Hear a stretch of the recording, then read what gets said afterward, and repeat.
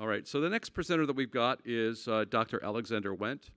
I'm going to talk to you in terms of uh, also the schedule that we've got here. There was a break that was following Alexand- Alex, and what we're going to do is, if you would, if you just have to go to the restroom or something like that, go ahead and do that because right after that we have lunch, okay? And that will allow me to make up some time that we've lost, and we'll be able to keep the schedule in place. So the next presenter is Dr. Alexander Wendt. He's going to be talking to you about something that's rather different, uh, and I, I, want to couch this in the context.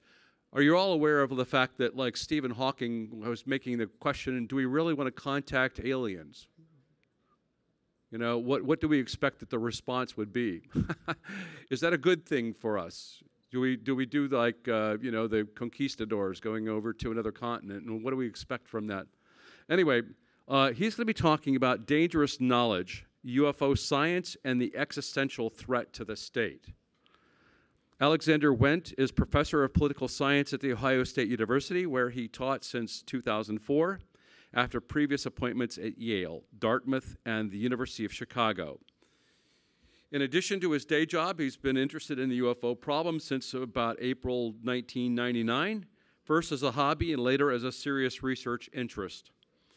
He has published Sovereignty and the UFO in the journal Political Theory in 2008 and did a TEDx talk uh, early in 2020 entitled Wanted A Science of UFOs and is currently writing a book on themes in his talk.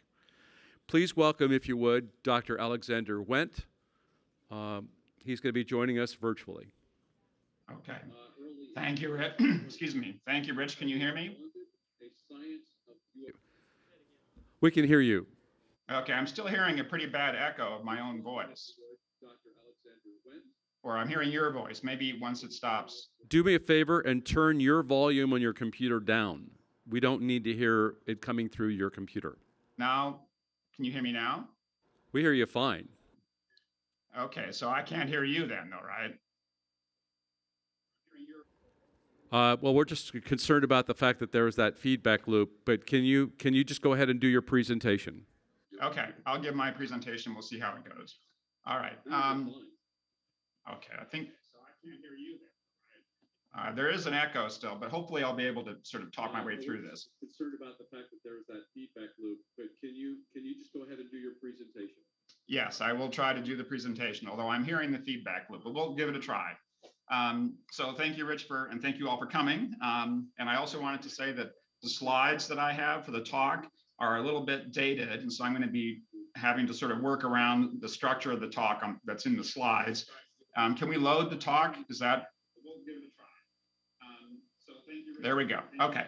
Um, so hopefully I'll be able to talk around the actual uh, talk that you see on the screen. Um, and I want to begin with a few words about how I came to be here. Um, and actually, Rich did part of that already. I'm a political scientist. Uh, I study international politics. And as you'll see in the talk, um, that actually makes a difference in terms of how I think about this issue. Um, but in April 99, I had actually the feedback is really bad. I'm not be, uh, this is going to be very hard to talk through. Rich did part of that already. I'm a political scientist. Is there a way to international politics? And as you'll see in the talk, um, that actually makes a difference in terms of how I think this issue. Um, but in April 99, I had actually the feedback. Alex, if you can, please turn your volume down on your PC. Okay. All right. Is this going to be okay? Oh, I, okay. You can hear me still? Okay. Um, all right. So April 99, I had an epiphany about the UFO problem, which was that there actually was a problem. Um, and then, as Rich mentioned, in 2008, I uh, next, please, I uh, published an article called "Sovereignty in the UFO." Um, there it is, right there, um, which I believe is actually still the only article ever published by a social scientist that takes the ET uh, hypothesis for UAP seriously. But hopefully, that will change soon. Um, just to, the the puzzle. This article, though, I think sets up my talk pretty well because the puzzle driving the article was why is it that for 70 some years there's been a taboo on studying what we used to call UFOs scientifically. And given that, if any of those UFOs were discovered to be ETs, it would arguably be the most important event in human history. So you would think somebody would be looking, somebody would spend the money to study it. And yet, as we all know, of course, in those seven decades, the authorities have routinely denied even the existence of UFOs, uh, much less that they might be alien spacecraft and so on. So this is true, I think, even after the Pentagon report, this taboo is very strong still. There's a lot of resistance, although the taboo is clearly cracking. Okay. So anyway, in the article back in 2008, our solution or our answer to the question, why isn't anything happening? Why is there this taboo? Our answer was that the modern state cannot take UFOs seriously because the modern state is based on an anthropocentric assumption that the only intelligent life around is human. And so to question UFOs would be, in a sense, to question the foundations of the modern state and, and world order. So it's a legitimacy question. So our argument essentially was that the UFO taboo was functionally necessary for the modern anthropocentric state to survive. So fast forward 13 years to the Pentagon report, and it might seem as if this very nice argument that I laid out has been proven wrong, uh, since at least one very important state, the United States, is now in fact taking UAPs seriously. And a UAP science is slowly being grown, um, even at places like this conference. Uh, moreover, not only does the Pentagon now admit that UAP exist, but they've also said that they are a potential national security threat, a phrase that was repeated many times in different forms in the recent congressional hearings. So it's an amazing turnabout from the past seven decades. Now, obviously, I'm very happy to be proven wrong that states can't take UFOs seriously. However, I am an academic, and academics' first instinct when their pet theory is challenged is usually to double down and defend its continuing relevance. So that's what I'm going to try to do today. And in particular, I'm going to argue that UAP science could be a double edged sword. On the one hand, it might answer one of the most profound questions that humanity faces today, namely, are we alone? And it might even answer it in the negative, which would be a good thing, presumably. Um, and yet, on the other hand, try answering that question could also provoke an equally profound political legitimacy crisis for the modern state, the very thing that the UFO, UFO taboo was designed to prevent.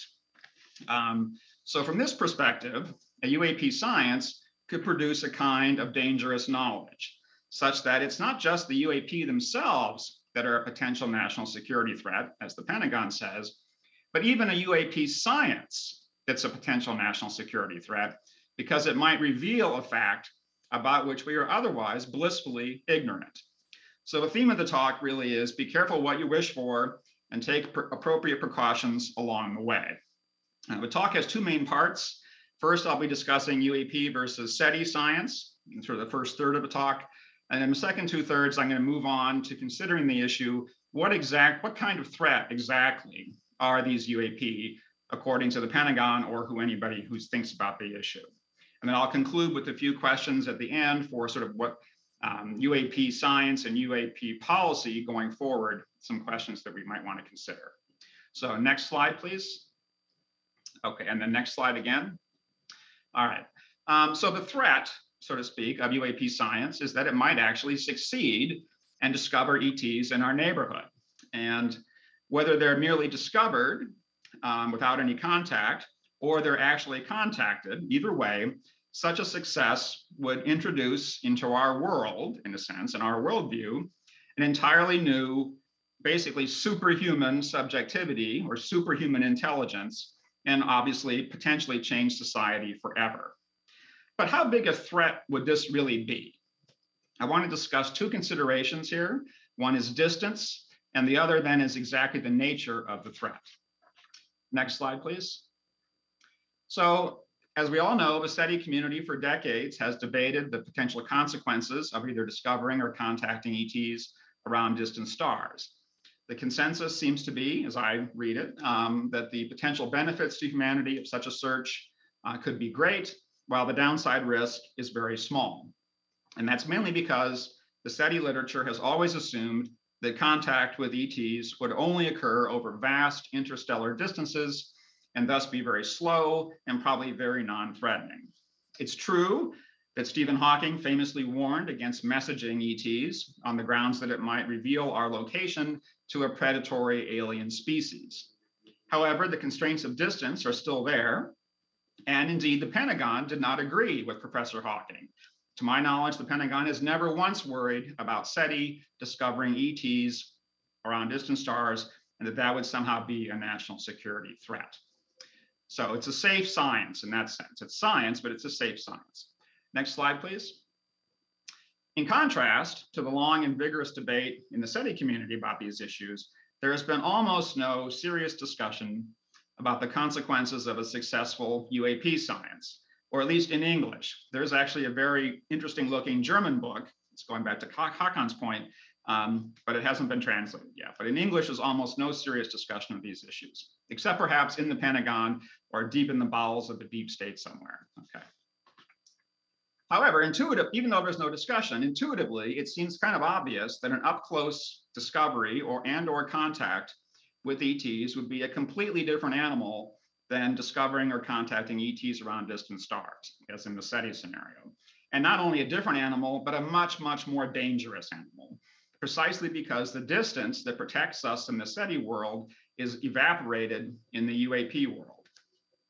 And compounding that abstract or theoretical concern is a much more tangible concern that's evident in the Navy videos and presumably other evidence for UAP, which the Pentagon seems to think involves what they're calling so-called breakthrough technologies. These technologies, if that's what they are, uh, seem to defy the laws of physics as we know them, and as such are vastly superior to anything that the US military, or probably any other military, has in its inventory. Thus, if such technologies are uh, had or acquired by our adversaries, quote unquote, as suggested repeatedly in the congressional hearings, then from a national security standpoint, UAP are quite concerning indeed. So it makes perfect sense. And indeed, the technological gap between us and them is so great that if there were ever a conflict or a war with UAP or ETs, in my view, we would, we would be utterly helpless and have no chance of fighting back successfully. Um, and in that sense, we intrinsic objectively here, there's some possibility of annihilation or extinction, independent space style. So in pursuing or doing UAP science, if it's successful, we might come face to face for the first time with an almost unimaginable power, the power literally of gods compared to us. And in the face of such immense power, it's no surprise that the US government, and this is a jargon term from my field of international relations or IR, it's no surprise that the US government has securitized UAPs, which is to say that instead of treating them as simply a scientific question, they're treating them now also as a national security issue. And that allows them to do various things, you can get more money that way and everything else. So securitization is what's going on or has just begun, and we'll see if that continues. But the bottom line here is that messing with UAP could end very badly for us, at least potentially. This is not Cortez versus Montezuma here. It's human beings versus mice, or even something lower than mice, is my sense anyway.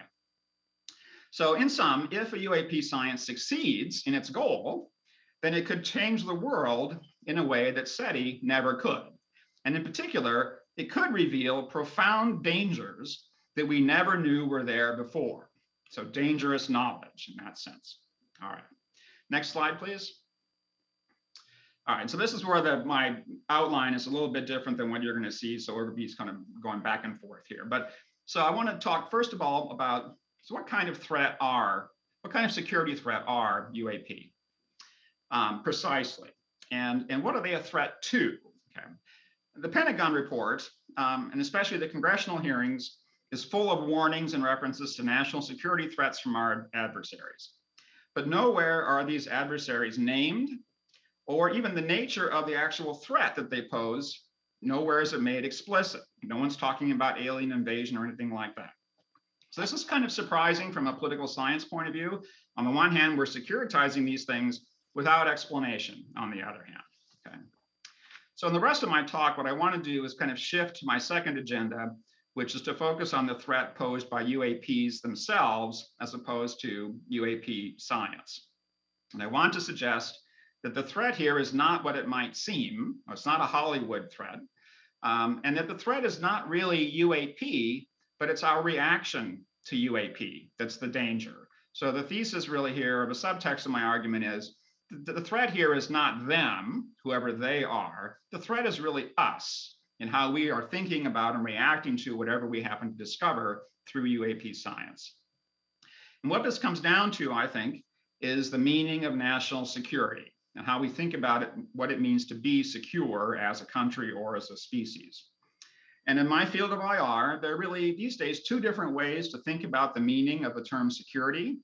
And what I'm going to do is briefly contrast those two meanings um, with the UAP example, and then I'm going to go into more detail on the second of the two meanings. So let's go to the next slide. Let's see what have we got. Um, okay, that's good. All right. Um, so traditionally in IR, the security of the state, national security, was thought about very much as analogous to the physical security or safety of individual bodies. So security of the state is really about protecting the life of the state, the life of the body politic from conquest or elimination by other states typically. Basically, the idea of security here is don't get killed. If you're not going to get killed, then you're at least relatively secure. Okay. And importantly, on this view of security, and this is often called a realist view of security, at least in my field, on this view of security, um, threats will usually come from outside the state. They'll usually come from other states in the system or transnational terrorists, um, you know, various things like that that are coming from outside the borders and are attacking the state, so to speak. Now, the Pentagon report never actually defines security or what a security threat is, but to me, as an IR person reading the report, it reads very much like straight ahead realism. It's a very traditional way of thinking about security. Um, the national security threat here is a physical threat. And the reason I say that is because the emphasis in the report and in the hearings is all on the technology, the breakthrough technology, which potentially can do us harm. And so it's really a physical kind of model of what our security depends on. But who are these adversaries? Um, in the congressional hearings, the subtext, we've got a honking horn in the background. I hope you guys can't hear that. In the congressional hearings, the subtext is that the adversaries really are Russia or China. But with all due respect, I think that's absurd. The Tic Tac videos from 2004, if the Russians have that anti-gravity technology, they wouldn't be getting their butts kicked in the Ukraine.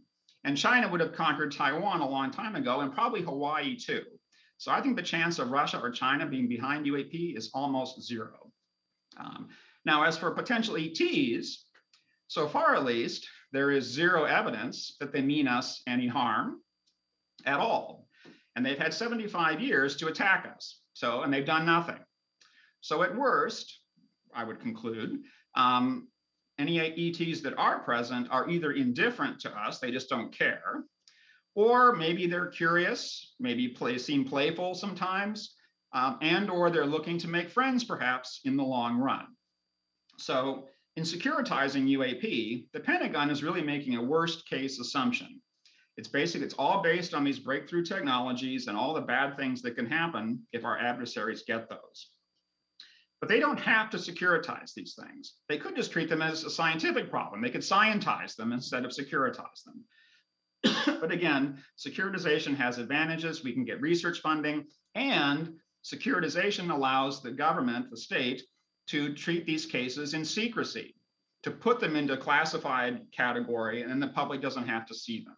You couldn't do that if it was purely a scientific question.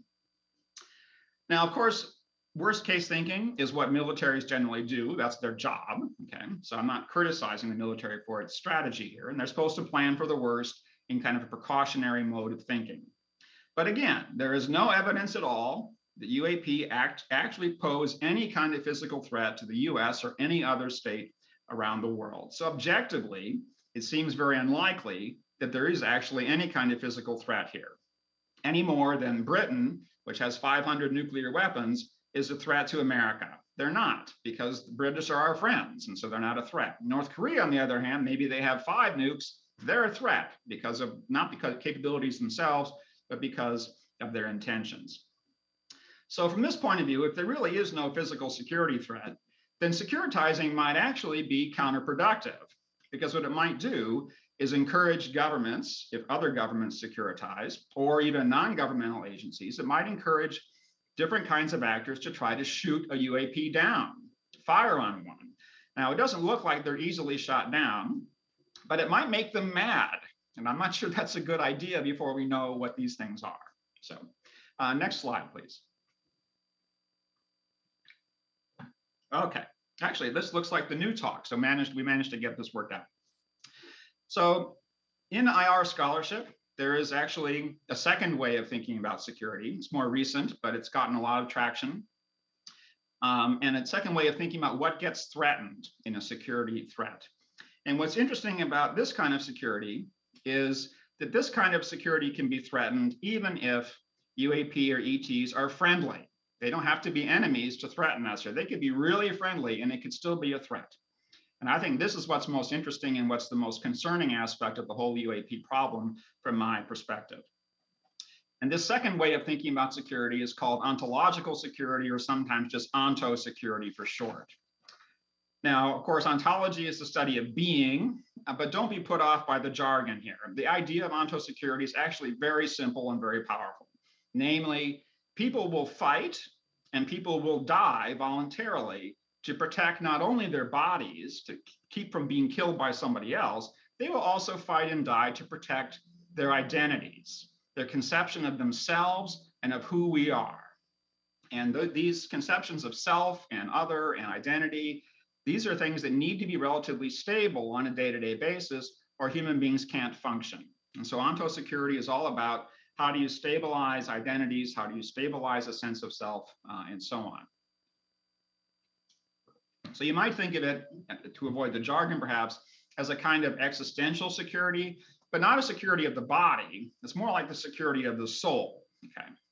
And this kind of security can be threatened even if there is no physical danger. So think about the culture wars in America. I would say those culture wars are all about onto security issues on both sides. Okay. Or think about the war in Ukraine. Russia is a physical threat to Ukraine. They're trying to conquer the country, or at least a chunk of it.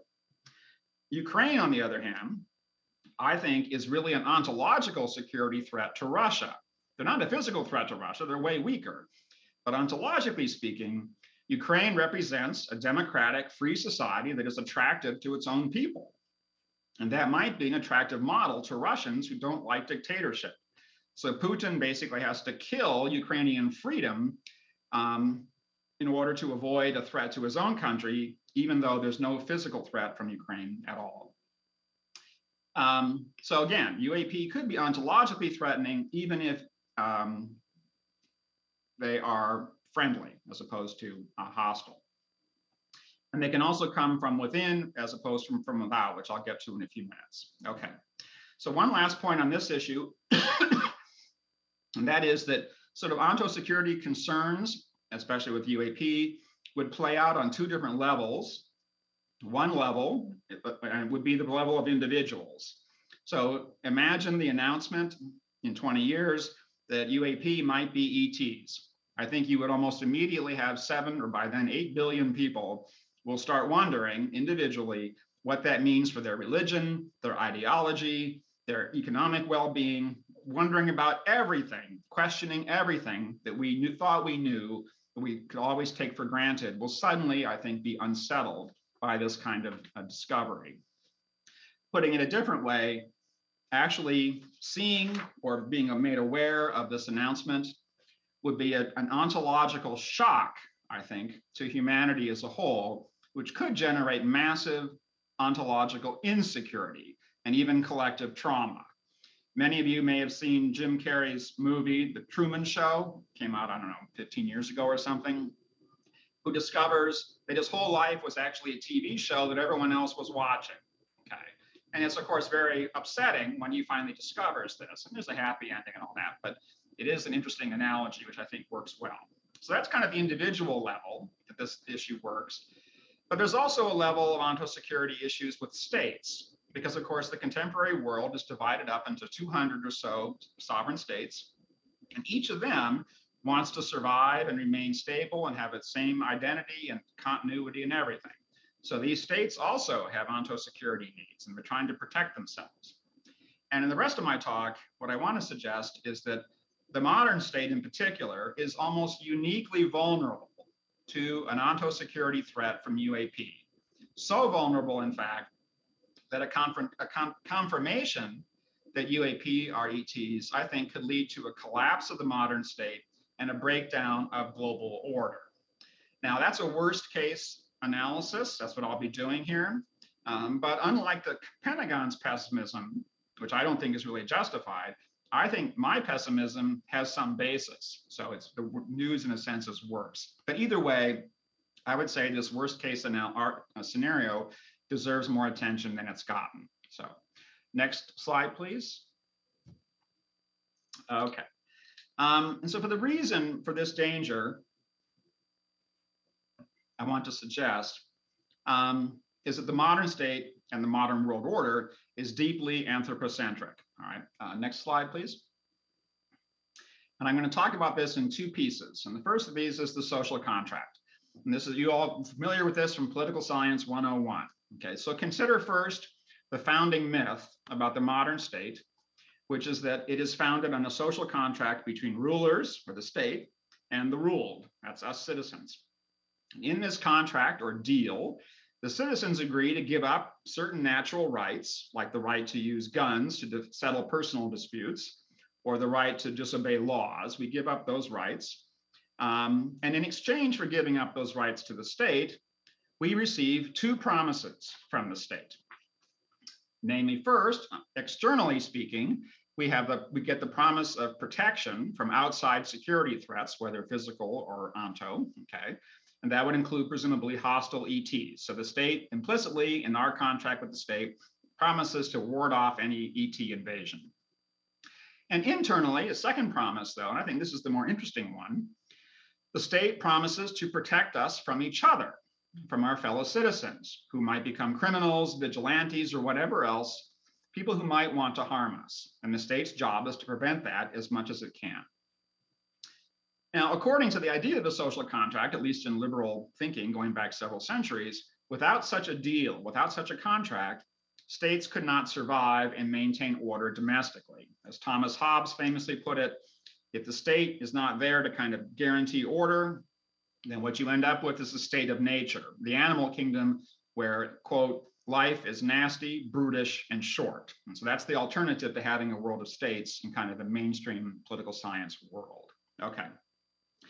But the important thing here, I think, is that the social contract provides social cohesion. It pulls people together and helps them stay organized with a stable identity under one state. And so, in that sense, the social contract is really the justification, it's the normative justification for having a state at all and for its power over us because of the things it provides us in exchange for what we give it to them. Okay, uh, next slide, please.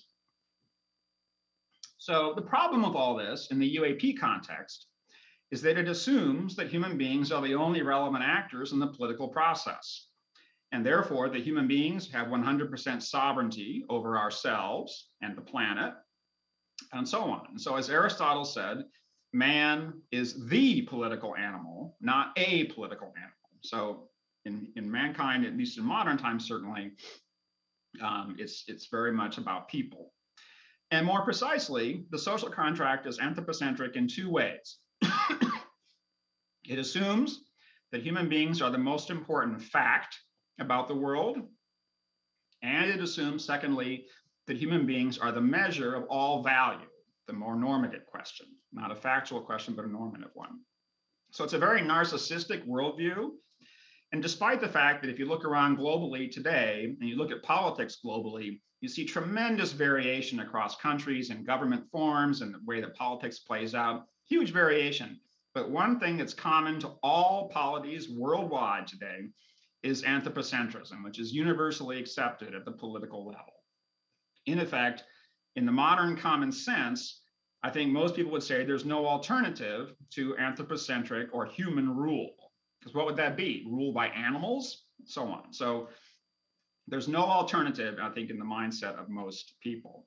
And that fact, the absence of an alternative to human rule, to the state rule, gives states immense power to mobilize their own people for political projects, like invading Ukraine, for example. The problem, of course, though, is that this the legitimacy and political force of this narrative of the social contract of who we are is threatened, I would say, by the possibility that UAP are ETs, which is kind of the point of my 08 article. If that possibility is confirmed by Avi Loeb or UAP science more generally, or even by governments, then it will quickly become obvious that the social contract that we've been living with is completely hollow. First of all, it's a territorial contract, which creates 200 separate sovereign states. Um, and the point of the national of, of the but what is the point of the nation state when the threat of ETs is to all states? They're not threatening just the if they threaten anybody, not just threatening the US or just Canada, they're threatening everybody. So from that perspective, the whole category of national security as a way of thinking about this issue is obsolete. So that's an initial problem. But more deeply, the contract itself is hollow uh, in the sense that states cannot protect us. They cannot claim to protect us physically against a potential external alien invasion. Um, indeed, it would. I think that if ETs were discovered in the atmosphere here or in the ocean or wherever, it would be immediately clear that it's the, the people who have ultimate sovereignty on Earth are not people or states. It's ETs that have sovereignty over Earth. Earth is their planet not ours, and we rule only at their pleasure. And if that's the actual what's going on, it raises the question for citizens well, why should I obey my state? They're not even really in charge. They rule only at the discretion of these aliens and so on. Maybe a world state, but obeying my national state, that just seems kind of silly because my national state essentially is impotent. Okay. All right, next slide, please. All right. Um, so imagine in 20 years that we have this confirmation that UAP are ETs with or without contact. How would people react to that news? It's not like discovering ETs in the SETI scenario, very far away. This is up close, where the immense power of ETs is on full display. The unimaginably immense power is on full display. I think many people, if that happened, would say it's the end of the world as we know it. And I think they would be right in a certain sense, although there can be different ends. So there's no single end of the world here. I don't really have time for a proper discussion of this. And this is actually, I'm thinking about writing a short book developing this argument, but I can give you the brief outline here for a few minutes, and that'll be sufficient to generate any questions you might have. Um, but I'm the way I'm thinking about this is to think about under what conditions would states, how do you get failed states, what we call failed states? How does the state collapse and lose its legitimacy and it lose its grip on people? And I would say that if UAPs come along, whether discovered or contacted, either way, they would uh, create or generate three very powerful emotions worldwide. And all three of these emotions, in different ways, I would argue will subvert or undermine cohesion, group cohesion, the cohesion of the state, and therefore the internal legitimacy of the state as well would be at risk. So next slide, please. So the first of these emotions, very briefly, let's say greed. Assume that 1% of all the people who hear about hear the news decide, you know, the world is ending in a few months or a few years. I'm going to enjoy it. I'm going to engage on a crime spree, looting, do all kinds of bad things, and go out with a bang. All right, so you've got people messing things up and getting disorderly because the end of the world is here and you may as well party. Next slide, please. The more primary response, I would guess, would be fear, or what in the SETI literature is sometimes called panic. And in this case, it's not just fear for our lives, the physical threat, it's really fear for our future, a fear for the nature of our world that we have all grown up on and that we're all attached to, and we all want to preserve, or at least many of us do. Um, so it's, I think a potential loss of confidence in the future is really the, the key thing with fear. Stock markets, I mean, if their aliens show up, it's hard to imagine the stock market prospering from that. Um, and I think you might also have a loss of confidence in our fellow citizens, because as apocalyptic thinking increases, you're going to have more people saying, you know, I'm heading to the mountains with my guns to mount an armed resistance, unauthorized armed resistance against these aliens who are definitely coming. Or you might have people who don't go to the mountains, they stay in town, but they start acting like vigilantes to make sure the ETs do not infiltrate our society in human skins as is sometimes suggested in internet conspiracies. Okay, so you can imagine all kinds of craziness coming from the internet, motivating people to do a lot of weird things that are hard to control. Third, the next slide, please. And then finally, to me, this is the most interesting reaction because it's not something that's usually talked about. Um, but ironically, it is also a kind of threat to the state. And namely, if ETs are confirmed, then many people might be drawn to them, drawn to them in the sense of wanting to learn from them, or even to be saved from them, either in a medical sense or a spiritual sense. so the potential here is for the rise of a naturalistic UFO religion where ETs are worshiped as gods, and people are hoping and praying that they'll come down and save them. And like fear and greed, though, this could also reduce loyalty to the state because it would encourage people to ignore the state as irrelevant. I mean, who cares about the state if you're trying to get salvation from aliens who are here, right? Um, and because the state is morally compromised. For 75 years, they've been lying to everybody, and now suddenly we're supposed to be on their side. So it's anyway. Um, so I think that actually the wonder reaction would feed into greed and fear and, and create a spiral, potential spiral of falling cohesion, rising civil strife and violence, and ultimately either the collapse of the state or the imposition of martial law. Either way, politics would be changed, I think, forever. Uh, next slide, please. Conclusion. Okay. So I painted an apocalyptic scenario here, which hopefully will never come true. And I, who knows how likely it is? Nobody knows. But I do think it's a possibility that needs to be taken seriously. And from this point of view, the UFO taboo for the past 75 years, which I've been railing against for 20 years myself, actually looks a little better because it protected us from a potential truth that humanity is not ready to handle. Remember the movie A Few Good Men and Jack Nicholson as you know the, the military commander says, you can't handle the truth. Well, that's kind of the situation I see us as being in right now. So, in effect, from this perspective, the UFO taboo was what Plato called a noble lie, a lie told by the authorities that keeps us all in ignorant bliss and also helps the state survive because if they reveal that this is a lie, that's a problem of legitimacy. So, by implication, therefore, a UAP science, by being a threat to ignorance, is also a threat to anthropocentric politics, hence the idea of a dangerous knowledge. And indeed, um, I would say that UAP science is not just a science for these reasons, or for these reasons, it is not just a science, but a UAP science is also an inherently political science, science. Because if it succeeds, it will change the world completely. And so, in a sense, it's what social scientists would call a critical theory.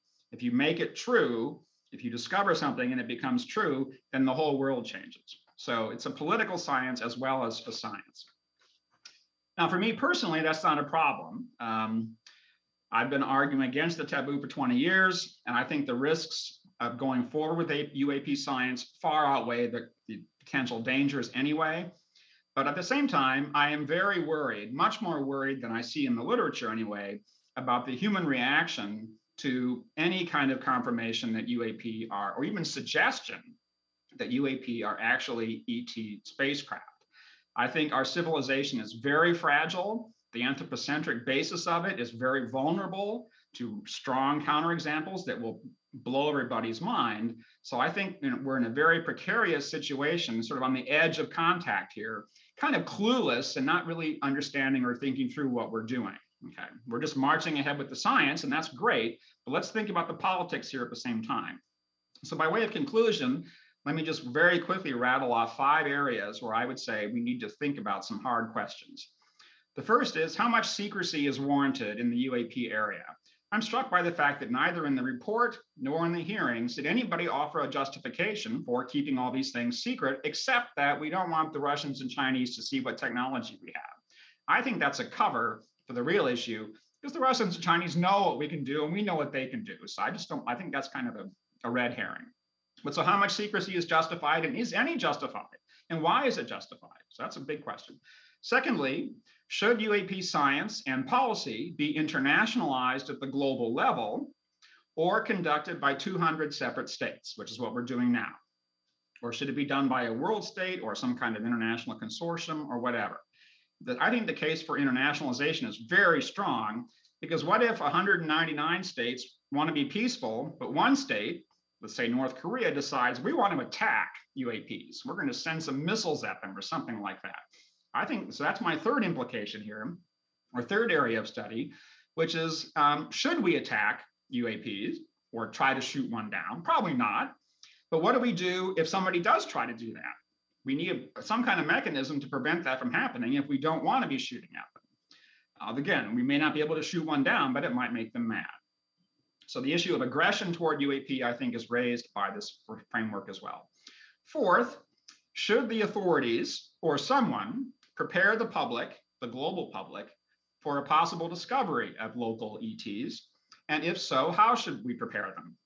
Or alternatively, should we not prepare the public? Because that kind of preparation would be necessarily very centralized.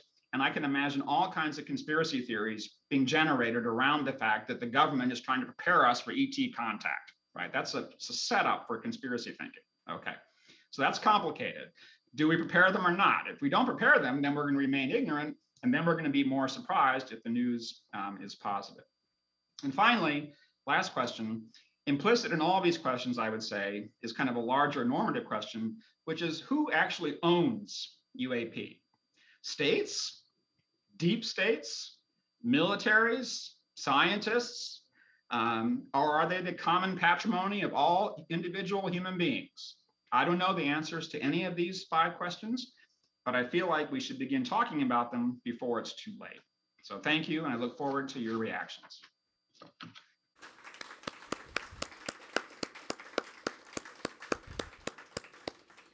Thank you, Alex. Those are very deep and profound questions that I'm going to be pondering for quite some time, maybe even another 58 years. Um, uh, let me uh, begin by asking you a few questions, but first let me also tell you that there's a, these are for the people in the room, there's a lot of people that are going back and having social interactions in the back of the room. Uh, I would just encourage you to be as quiet as you possibly can because there are some people that are having distracted, being distracted from hearing what's going on. Uh, so just be sensitive. We're all sitting here relatively close to each other, so it's it's a tight knit group. And uh, anyway, people are hearing that. So thank you if you would. All right. So uh, Alex, let me ask you the first question here. Uh, do we ask white mice and lab rats for permission or their input to experiment? This assumes that humans at the top where are at the top of the food chain? Well, we have the feedback loops. I'm wrestling with my own voice here. Um, uh, no, we don't ask people. Well, no, we don't ask mice, obviously. Um, and if alien abductions are actually true, then the aliens are not asking us for permission either. Um, you know, I'm kind of agnostic on that issue, but um, you know, it's not surprising that we wouldn't be asked, though. We're just compared to any alien intelligence here, we're basically nothing. Uh, Okay, I know that there's a feedback loop there that's going on. Uh, if you have Whova up, is that what you have, Whova up? Me? Yes. Yes, I have Whova up, yes. Uh, I'm thinking that that might be it. If you could stop Whova, that would stop probably that whole thing. You, you, you got into Zoom and you should have Zoom up. Me? Well, I see Zoom right now. That's what I see up but Whova might be in your background. But anyway, I just let me go ahead and ask the next question here, if we can uh, do that. Uh, what do you think could be acted on now that could possibly mitigate or prevent the, the potential chaos that you've suggested? Well, that's a good question. And um, I think one thing we should do is the process should be slow. I mean, I'm all for rushing in on the one hand, but we've got to move slowly so that people don't, so that the science does not get too far out in front of where people are. Um, and I think there needs to start being a discussion in schools. Like I taught a class last this past semester for the first time on UFOs and national security. And It was great fun. The students loved it. Really interesting discussions. And I think colleges need to be teaching this stuff. And we need to have a, a discussion in the public sphere more generally. We need more media commentary. Uh, we just need a more serious discussion with more people weighing in and saying, hey, this is stuff we need to talk about. So that's, I think, in the short run, the best we can do, but that'll be a big start, I think. Okay. Based on us not being wiped out yet, how do we ascertain number one, indifference, number two, a timing issue of scouting before aggression? 75 years is a lot of us, uh, uh, maybe a blink of an eye to them.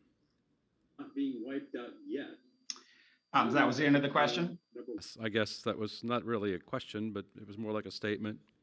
Hard to tell what their intentions, if assuming that they're ETs here, that's a big assumption, right? Um, they might be totally indifferent. My own sense is from the way in which they play with pilots and kind of are kind of teasing pilots repeatedly. I think they're trying to get our attention. Um, so I don't think, in fact, they're indifferent. I, my guess is they're looking to make contact down the road. Um, but at least for now, they're just trying to get our attention. In terms of timing before aggression, it is possible that um, it's just taken too long. My own guess, though, is they've been here much longer than 75 years. And especially if they're entering the ocean and coming out of the ocean, that suggests a much longer term presence. Um, so I, I, guess I'm relatively skeptical that they're just scouting us out and building up and getting ready to attack. If that happens, of course, we're toast. The game is over and doesn't really matter. But I, I do think I'm not. I actually think trying to prepare for that might even be counterproductive and not a good use of resources given that if we do get attacked, um, I think our cause is probably hopeless.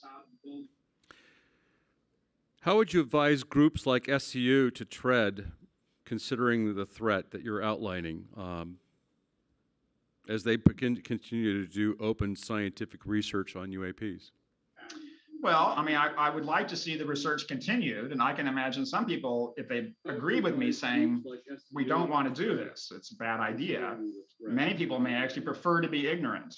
So that's a debate we need to have. Actually, we're not. No one's debating whether to have UAP science. We didn't debate not having it before, and now, in a sense, we're not debating whether to have it. So, um, so I've forgotten the rest of the question, though. So I'm going to pause right there. Okay.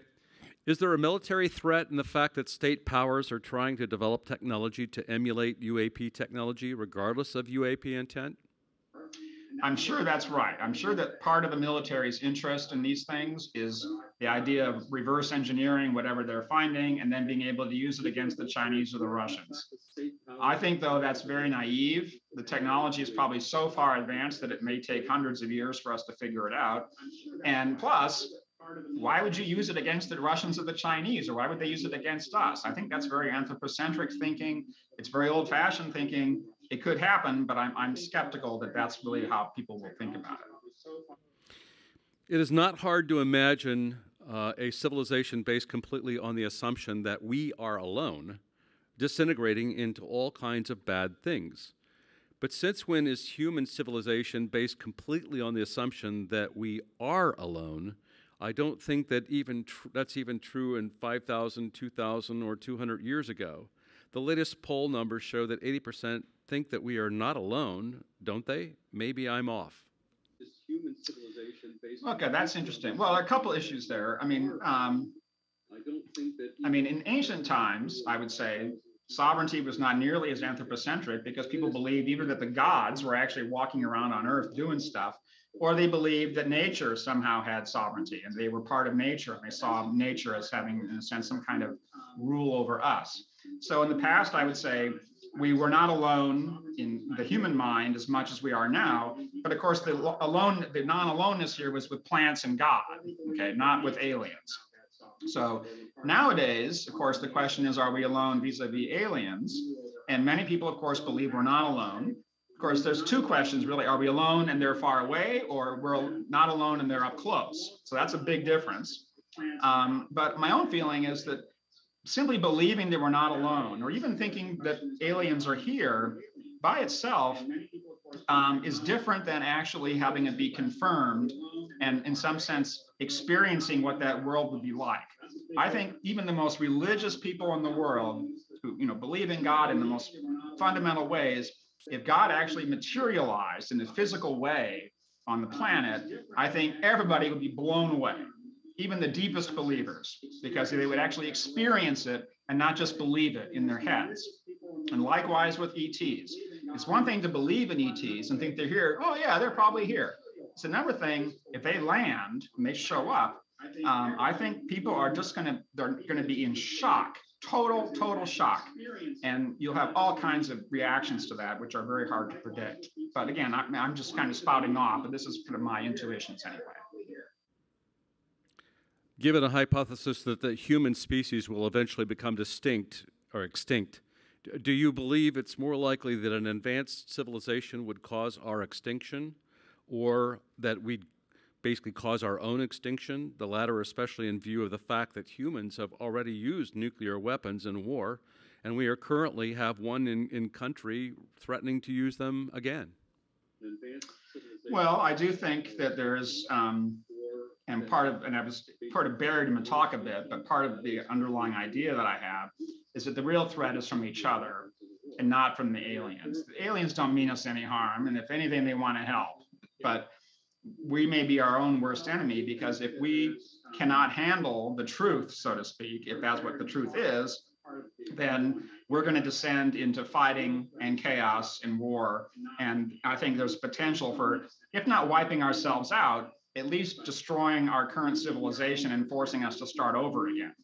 Um, so, I mean, I'm not sure what to make of that. I, I have toyed with the idea of, uh, in my, this book that I might, I might or may not write, that, with the idea that human being, the people who discover that UAPs or ETs will be the last humans. Because after that discovery, the world will be completely different. And whatever comes after that, whether biologically or socially, is going to be a new kind of human.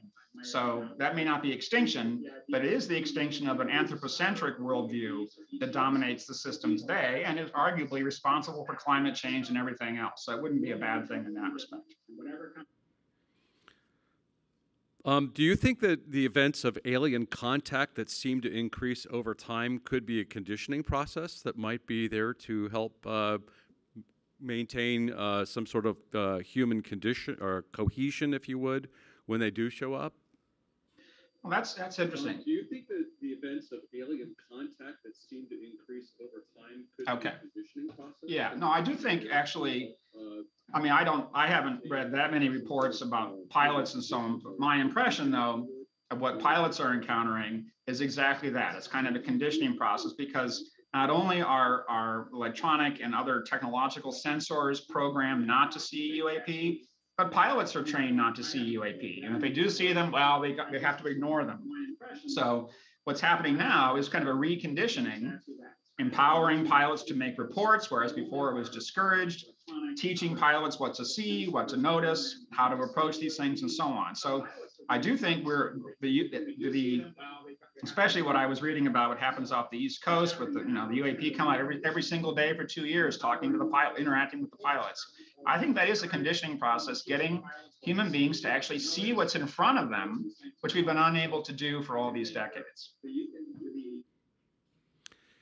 Some of us who've studied the phenomena for a long time have decided that instead of covering up ET disks, bodies, or underground bases, a much more likely cover up is that the government knows the phenomena does involve real intelligences and objects, uh, but almost nothing else about the source. What are your thoughts on this? Yeah, I think- I mean, it's a fascinating question, which is what is the deep state? I mean, I, I mean, it's interesting that one implication of this whole line of argument is that the people who actually have all the cases, who have the authority to release those cases, that's the deep state. And every country has a group like that, presumably in the bowels of its bureaucracy. So, um, wait, so wait, what was the question again? I'm sorry. Go ahead, Rich. Could you repeat? Um, It was just getting your thoughts on that idea in terms of the fact that the government probably knows a lot more than they're really telling you, and they, you know, they're not uh, they're not just talking about the, the they don't understand or not aware of what the source is. Yeah, no, I think the government clearly knows much more. Whether they, um, of course, the government is not a unitary body. It's presumably the people who have access to these cases. They may disagree among themselves about what the cases represent. Um, but yes, they may know more. They may have a pretty good idea that these things are not human. I would guess they have a pretty good idea of that. If they don't have that idea, then I'm not sure what's going on. So in that sense, um, they may know more, but they don't have any idea what to do with it. So yes, and then that's part of the secrecy. On the other hand, that may be good. Maybe they're telling a noble lie here and they're trying to protect us from the truth because if we're not ready to hear the truth, then all hell breaks loose. In the case of the search for extraterrestrial intelligence that's going on, it's been going on for quite some time. Uh, what do you think about the possibility that it could actually draw hostile aliens to the Earth? Well, it's always possible. Um, In the case of the search. you know, there are arguments, as everybody here knows, that as any civilization that lasts long enough to be able to travel interstellar differences, distances will probably be nonviolent because if they're violent, they're likely to get destroyed. Um, but that's all very theoretical. Nobody really knows. Um, I think there is some chance of hostile aliens. On the other hand, what do we really have to offer? Why would they want to conquer us? They can just take whatever they want without killing anybody. So, and it does seem as if they have some kind of an, a Star Trek style prime directive of non-interference because they're not bothering us right now. Um, but again, I, no one can rule that out. And that's one more reason to actually be concerned about the UAP science, not to stop it. I mean, I think we need to keep it going, obviously, but this is another potential risk that we're running. Should the soft sciences and political sciences be a key supporting component of the SCU's organizational strategy? Well, I think one of the things that I've really been struck by in all the publicity around Avi Loeb's initiative and a lot of the discussion that's happened the past year, I don't see social scientists anywhere on the horizon, or at least social scientists who are sort of regular practicing social scientists. Um, so I think that's a problem. I think this issue is not just a scientific issue. It is definitely that, obviously, but it's also a political and a social issue. And I think we've got to get people, you know, if not me, but other people involved in this so that we can start thinking the issues through. Um, do you see uh, do you see appreciation of social movement theory models to determine social reactions to UAP disclosure? Well, that's that's interesting. I don't know much about the social movement literature. There's a whole academic literature on this. Um, and there's actually not just social movements, but one could imagine a lot of psychological research, social, sociological research on how people might react.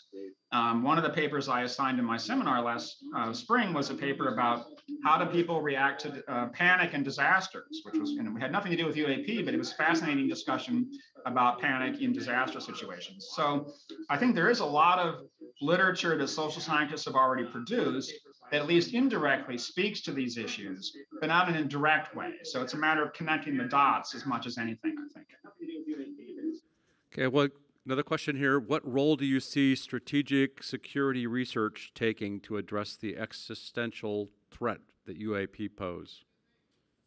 Well, I mean, if this, if the strategic thinking is about physical security and worrying about being attacked, well, that is sort of an important question. And I guess the military should worry about how they're going to deal with an invasion if that actually happened. Again, I think that's very unlikely. If the threat is ontological, though, that's a different kind of threat. And the military may not be able to deal with that. That may be a public relations issue.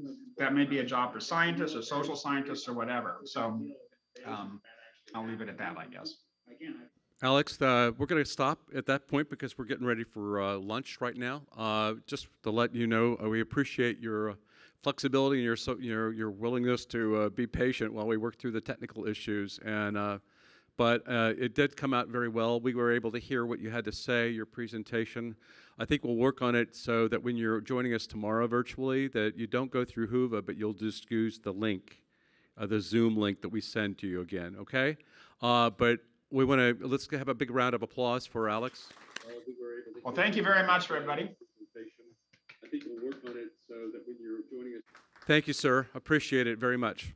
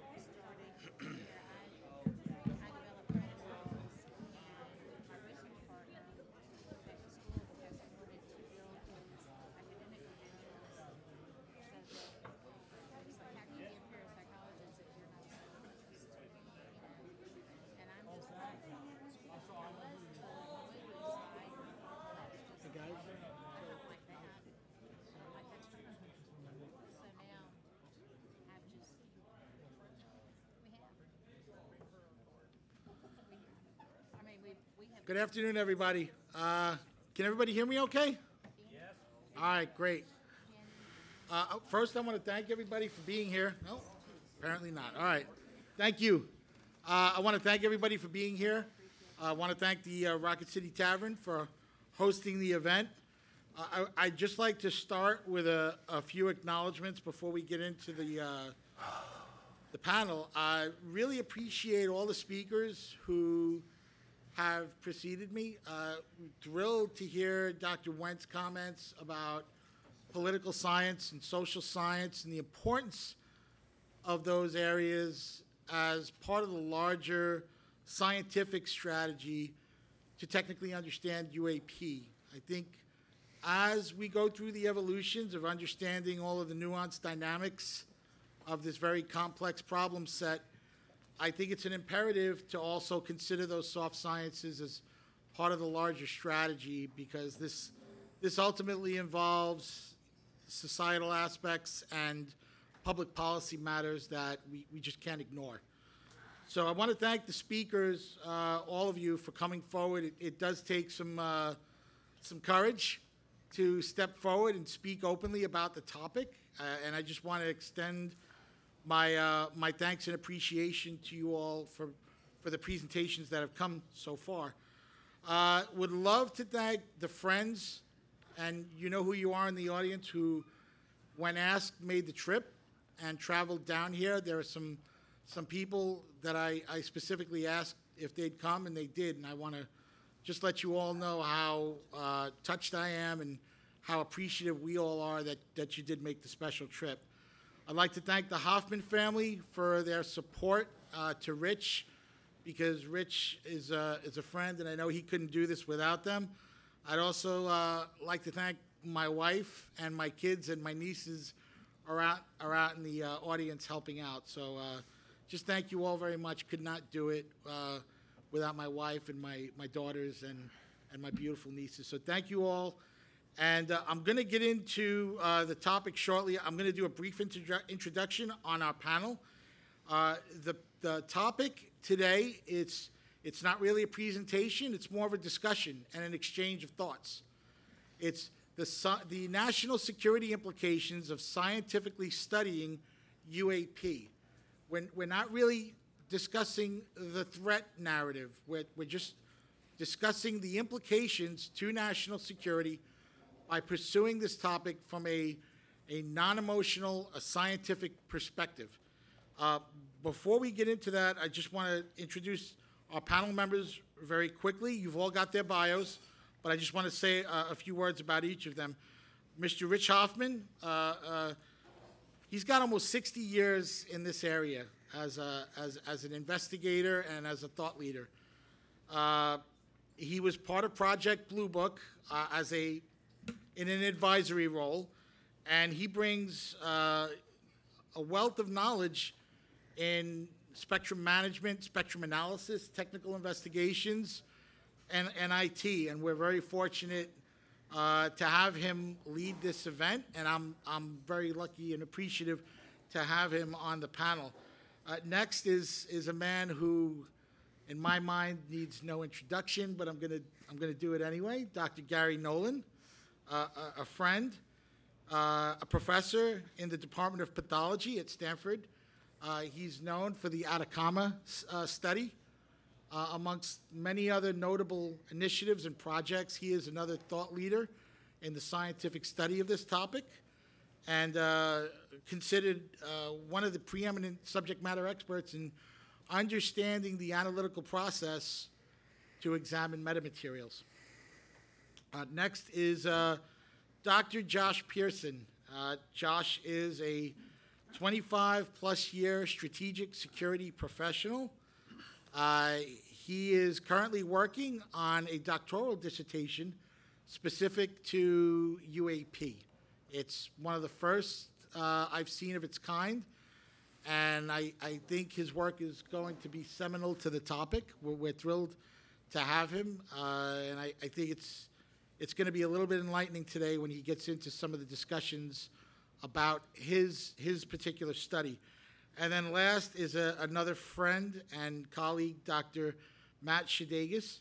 uh, professor at the State University of New York, the, uh, one of the uh, key people that the SCU looks to for topics related to dark matter, and was recently uh, featured in the documentary A Tear in the Sky. Uh, I, I, I know Gary, Gary Voorhees is out here, so there he is. Hey, Gary. Uh, Gary and the team are out here with Dr. Travis Taylor and a few others, and it's an amazing piece of work. I encourage all of you uh, to take a look at it and please check it out. So if I, if I did miss anybody, please forgive me. And uh, with that, we're going to uh, get into the, uh, the discussion.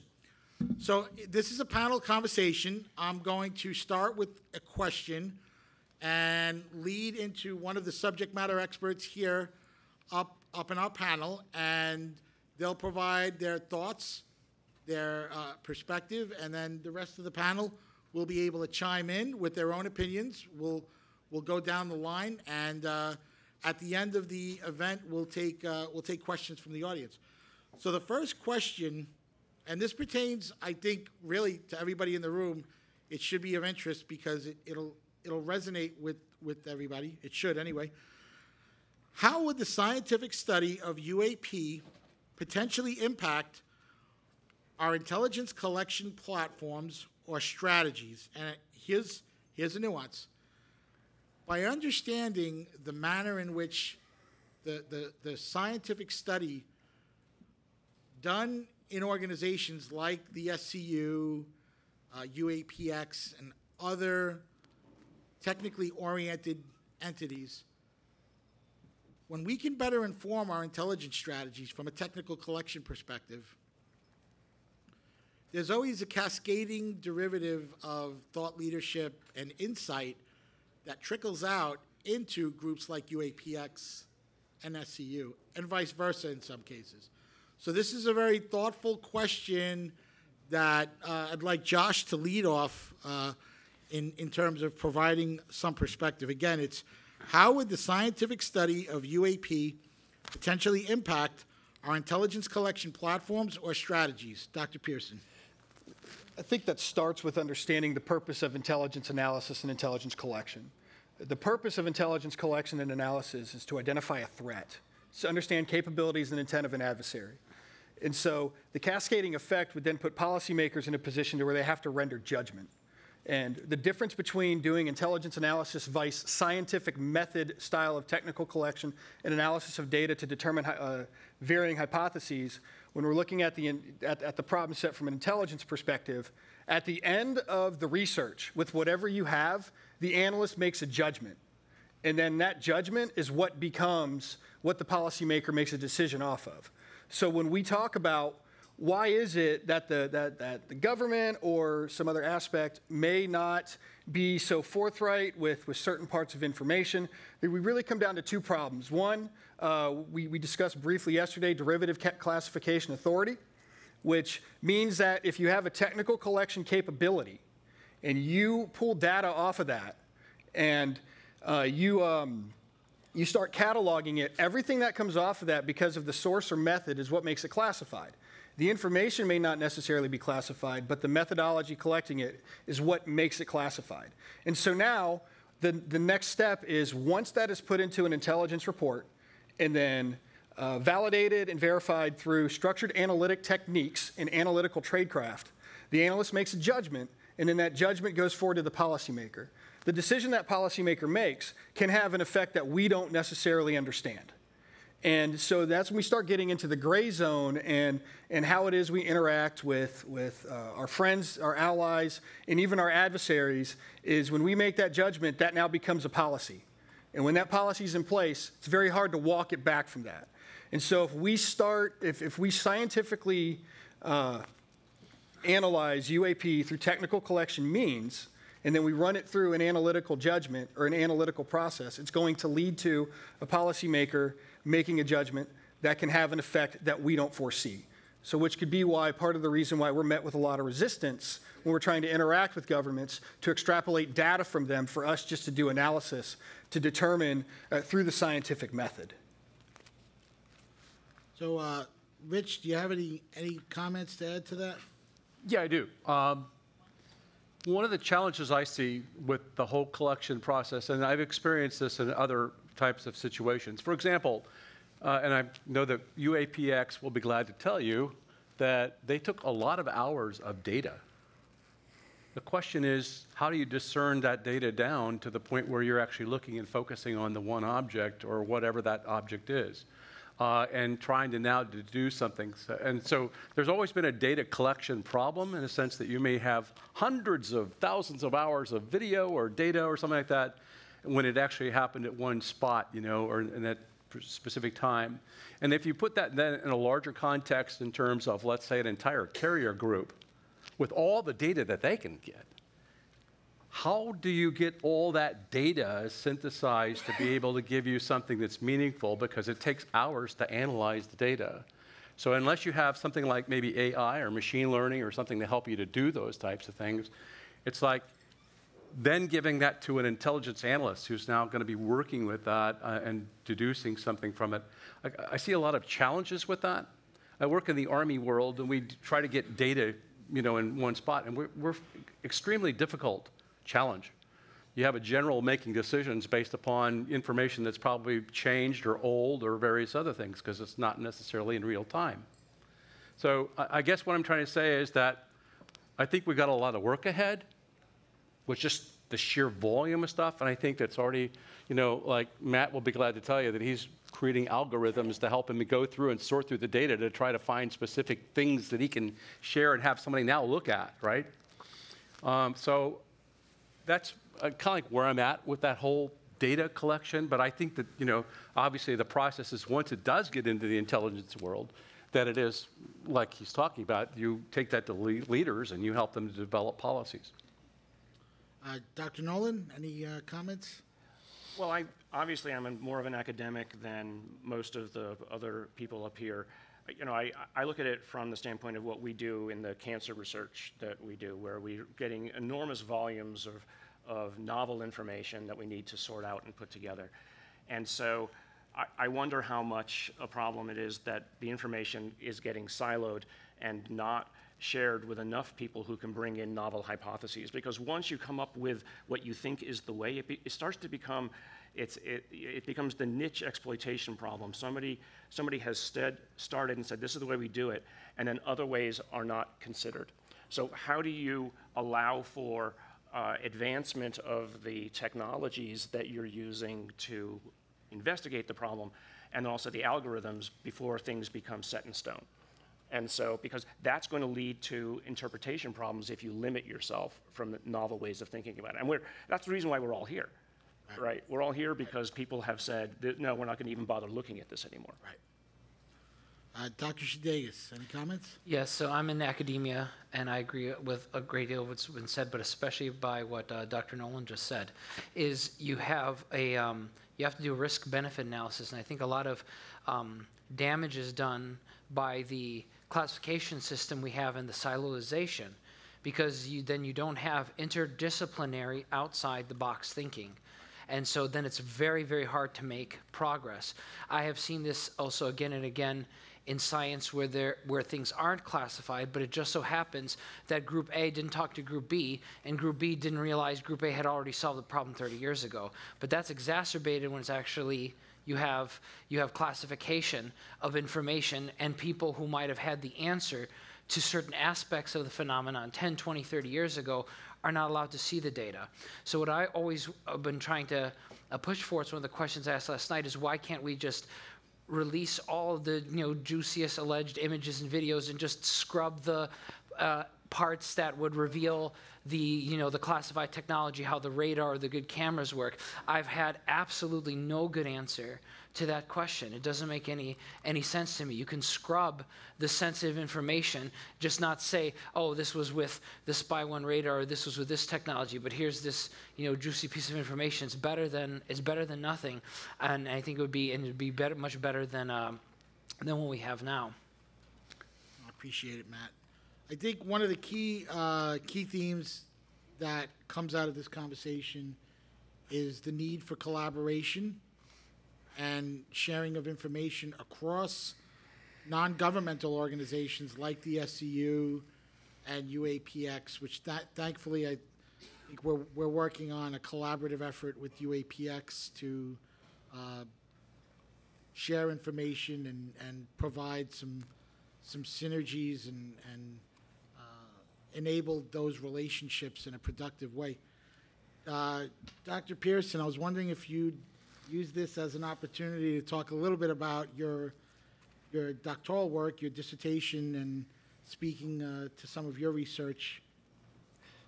So I took a, I took a different stance than, um, first, I'm not a physical scientist or an astrophysicist by trade. I am a strategic security professional. It's where my whole life has been, it's been my life's work, is really addressing the very issues that we're talking about here, is how do we uh, work through the, the, the classified system to get out what needs to get out? And vice, what do we need to secure to make sure that we don't have our adver- adversaries be aware of what it is that we have a capability for, right? So, so my dissertation focused on how do we, how would me as a strategic security professional look at this problem, and what would I do to to inform uh, a policymaker or or other uh, members of the intelligence and strategic security community of what they should look at uh, when they're attempting to to you know calibrate sensors, whatever the, the, the verbiage is that, that we're going with with the issue today. And so my research question was, uh, what are the measurable and detectable signatures that UAP present? Um, so I started with five off of uh, Lou Elizondo's show and said, this is going to be our starting point. And as I went through the research process, which starts with the, you know, the intro where you define your, your, your research questions, you start addressing your criteria, and then you address the lit review. At the literature review is when I realized that five wasn't going to be enough. And it increased to about 14. And, and these are, and, and, and, uh, and, and I'm going to get to what denoted measurable and detectable. At the end of it, after uh, um, completing chapter three and working through chapter four, which chapter four is not approved yet, so I'm still waiting on, on um, the committee to approve the research and to see if I need to go back and do more. So this is, so what I'm going to say may have to go back and be relooked. But at this point, uh, I was able to analyze 100 cases within the time allotted, and what I, it grew to was 41. 41 signatures, which are measurable and detectable. Now, measurable and detectable in the strategic security field has a different connotation than in the scientific field because we put a lot of emphasis on the human sensor. And of the 100 reports that, that I reviewed, 99 originated from an eyewitness. 41 of those were validated by some sort of technical collection aspect. Only one was a was a collection was initiated by a radar.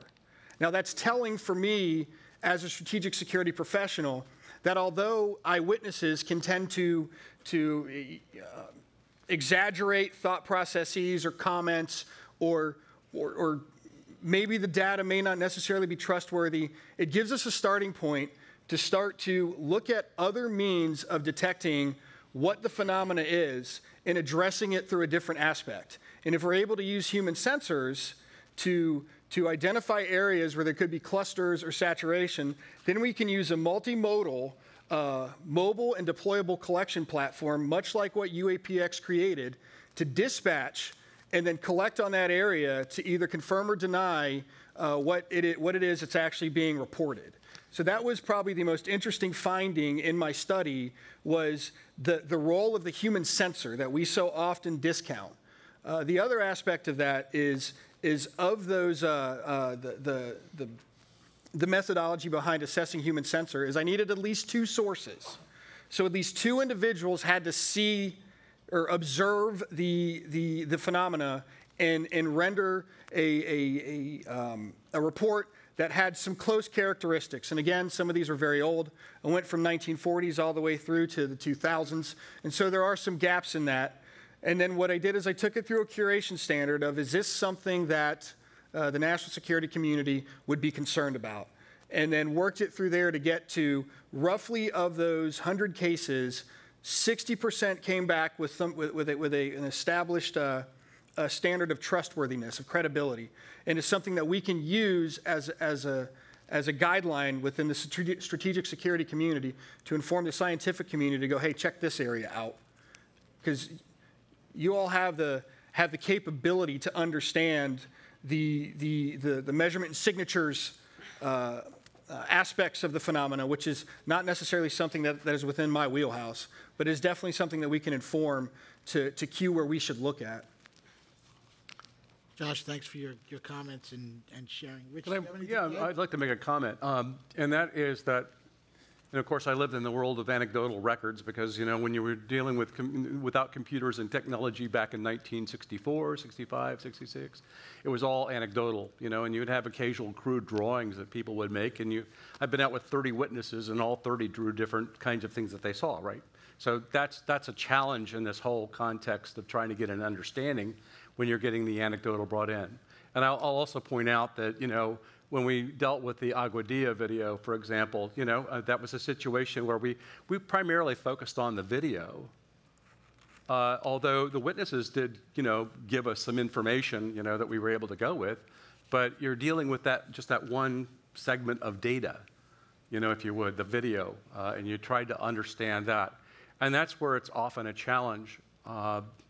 And uh, let me also point out to you that, that I, I think I told you before that we're installing at all the DoD locations these detection systems to allow us to see what's going on above our ranges and our perimeters. And in that context, this is a perfect opportunity if you think about wanting to collect intelligence about objects that the the government's telling you that are coming on their ranges, right? That we're, here's the, where the, the disconnect is. We're putting these systems out, spending millions of dollars to do that, just for the local people to be able to have the force protection people to run out and fix things. That ought to be going into the fact that if these are UAP, they ought to be going into that collection system you're talking about. So you're now benefiting from the data and the information you've got out there to do that, right? Uh, so we've got to get together the intelligence piece of this, working with the fact that we're constantly fielding these kinds of systems and making sure that it is supplying the information that we want. Thanks, Rich. I appreciate that. The, the, clearly, there's a need for greater collaboration between private groups like the SCU and the government. There's, it's just a matter of finding the right mechanisms and venues to enable that that type of synergy. Uh, on a on a separate but so, sort of related note to Dr. Pearson's dissertation, thankfully we've got uh, Dr. Davis is on his committee and uh, has been a, a critical part of enabling the uh, the level of quality coming coming through his research. So, Eric, thanks for all your support to Josh.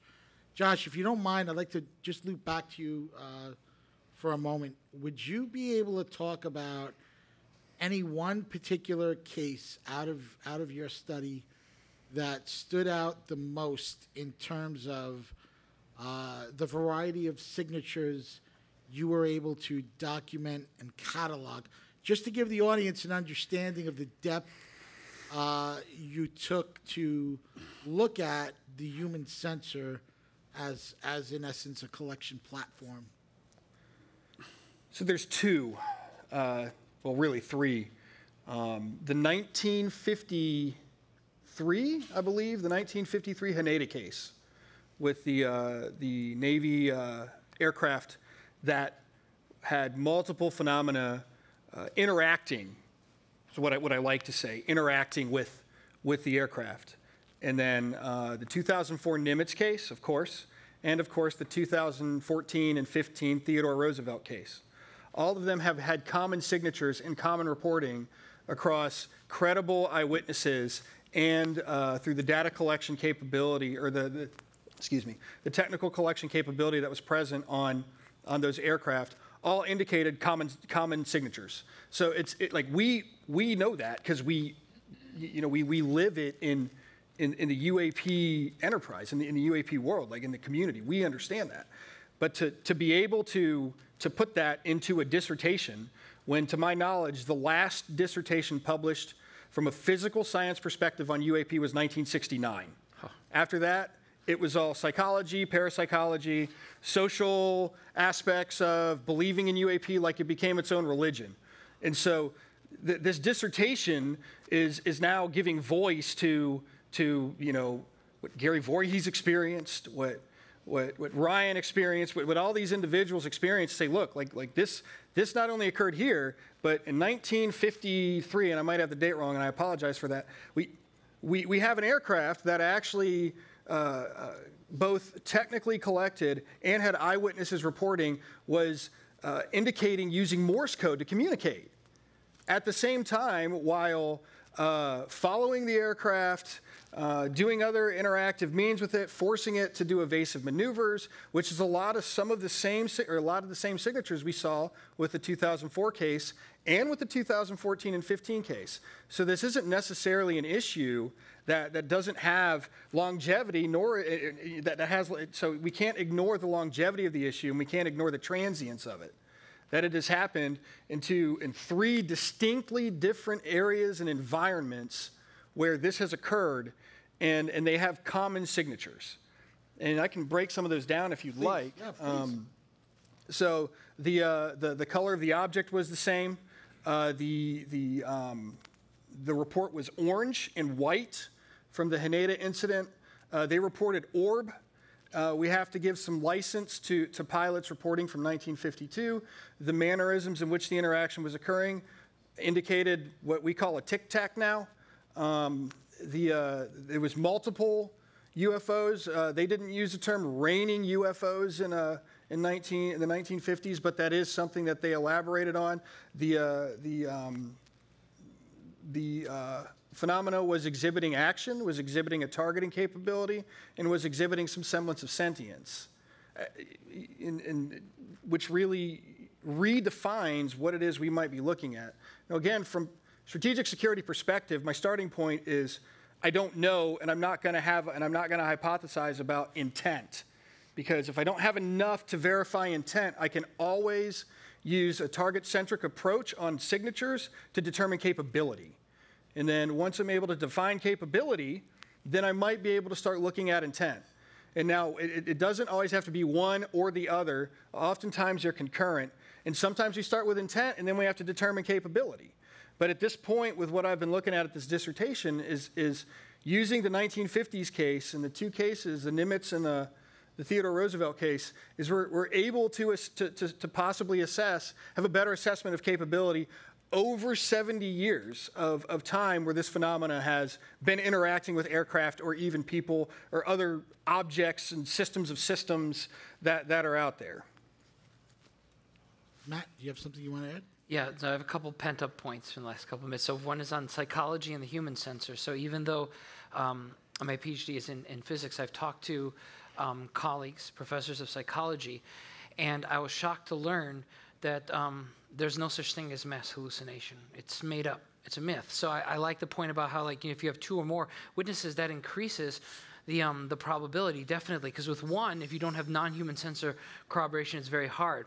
But no one's answered um, uh, my challenge yet in the scientific community to psychologists, psychiatrists, and and uh, neurologists. I'm like, can you show me a peer-reviewed scientific study that proves that two or more people can hallucinate the same thing at the same time? Because if you can, then you've proved telepathy, something else that doesn't, you know, exist allegedly. So I, I think that having multiple um, uh, credi- credible witnesses is wonderful. You could still have, of course, there's always cases of one person of a uh, dominant personalities. Like, do you see that right now? But you're not gonna, you can't transmit your uh, hallucination to somebody else. The other aspect we talked about is the non-human sensor, of course, the sensor platforms, like we had on um, UAPX. We thought it was absolutely crazy that the congressional hearing um, made no mention of SCU, made no mention of UAPX. Um, the Gillibrand amendment original wording was scrubbed that had mentioned SCU and Galileo Project explicitly. It's they, want to they say they want openness and want to learn, but don't want to engage with the people who have already been doing this. Some of them, like Rich, have been doing this for decades, and they don't want to learn what what intelligence we've already gathered. And I think that um, that's a disservice to the to the entire field. Can I also inject one thing, if I may? Um, go ahead. So you're all sitting here in Huntsville, Alabama, in October 12th of 2012. There was an object that was seen taking off from this base, and it was heading north. And I had immediately phone calls from people saying around the city who knew that I was in it, calling, and I think three, three or four people, and said, I, s- "Are you seeing this object that's that's going up north?" And I'm saying, "No, I didn't." And, and so I, here I was, I was going into a meeting and I decided that I was going to go in and I'm looking up in the sky and there, it was a beautiful blue sky. There, there were puffy clouds going by and everything else. And I'm watching as this, this light would be on and then it would be off. On and off. And it's just like that, right? In the same, roughly in the same spot. And I'm going like, I'm thinking I'm seeing my first UFO, right? Wow, I'm finally seeing one, right? And I even saw some people that were coming by and said, look up there, do you see that too? You know, and they were saying, what? You know, and it was a little dot up there. Next thing I know, what happened is I have, and I got to work, and then somebody said, Did you see that long cylinder that was up in the sky today? I'm going like, No, I didn't. What was it? You saw a cylinder that was up there? Really? And then the next day, because I was in MUFON and I was this, I had the ability to go and look at the database. Over the next four days, this long thing moved all the way up to Canada. Along the way, there were like 40 reports of UFOs that were going on up, and all the descriptions varied. It was a dot, it was an orb, it was a long thing, it was like this. But you could also look at the wind pattern that was going across the United States at the time, and it took it right up that way. One gentleman in Kentucky had, uh, had a telescope, and he had it brought up, and sure enough, he took a good close-up picture of it, and it was a long cylinder with some little things on it. It was a Google Loon secret project that Google had to be able to bring internet to these different places, right? Okay, so, and they didn't tell you that for like another year. Okay, so turned out it was launched from here. It was using a NASA balloon that was launched, and it had all these things, and they were doing this test. I guess what I'm trying to get at here is, you know, going back to what I said about people's descriptions vary, and the human challenge that we have that we get that information, and why it is that, you know, you're not hearing about those cases going back in the past that we're looking at, and you're hearing about the Nimitz going forward. It's because, guess what? You got the technology there now you're using to be able to get things that are better, that will help these people and help all of us get a better understanding of these objects. When we did the Aguadilla kind of case or something like that, it was the first time we had a chance to see something in infrared. You know, it's like there's not a whole lot of those. And military grade equipment, by the way. So it's like we paid millions of dollars for these things, and now we're getting, wow, this is incredible. So I just want to point out to you, as technology continues to morph on, we'll get better and better information. Of course, an example of good, uh, you know, what they're getting in UAPX with all the equipment, that'll be fabulous. But I just want to share with you that human challenge and how the interpretation can vary uh, uh, of that same object that was moving up through the skies from here. It's a great point, Rich. I think one of the key takeaways I'd offer is the importance of, and I'm going to say the word collection, even though this is a civilian organization. It's, it's critical to use technical means to gather your data in the field, but as equally as important uh, is an intelligence-driven approach. You've, you've got to understand, in my opinion, respectfully, I think it's critical that as we collect data technically, the way it's analyzed is is uh, driven by doctrinal analytic tradecraft, if you will.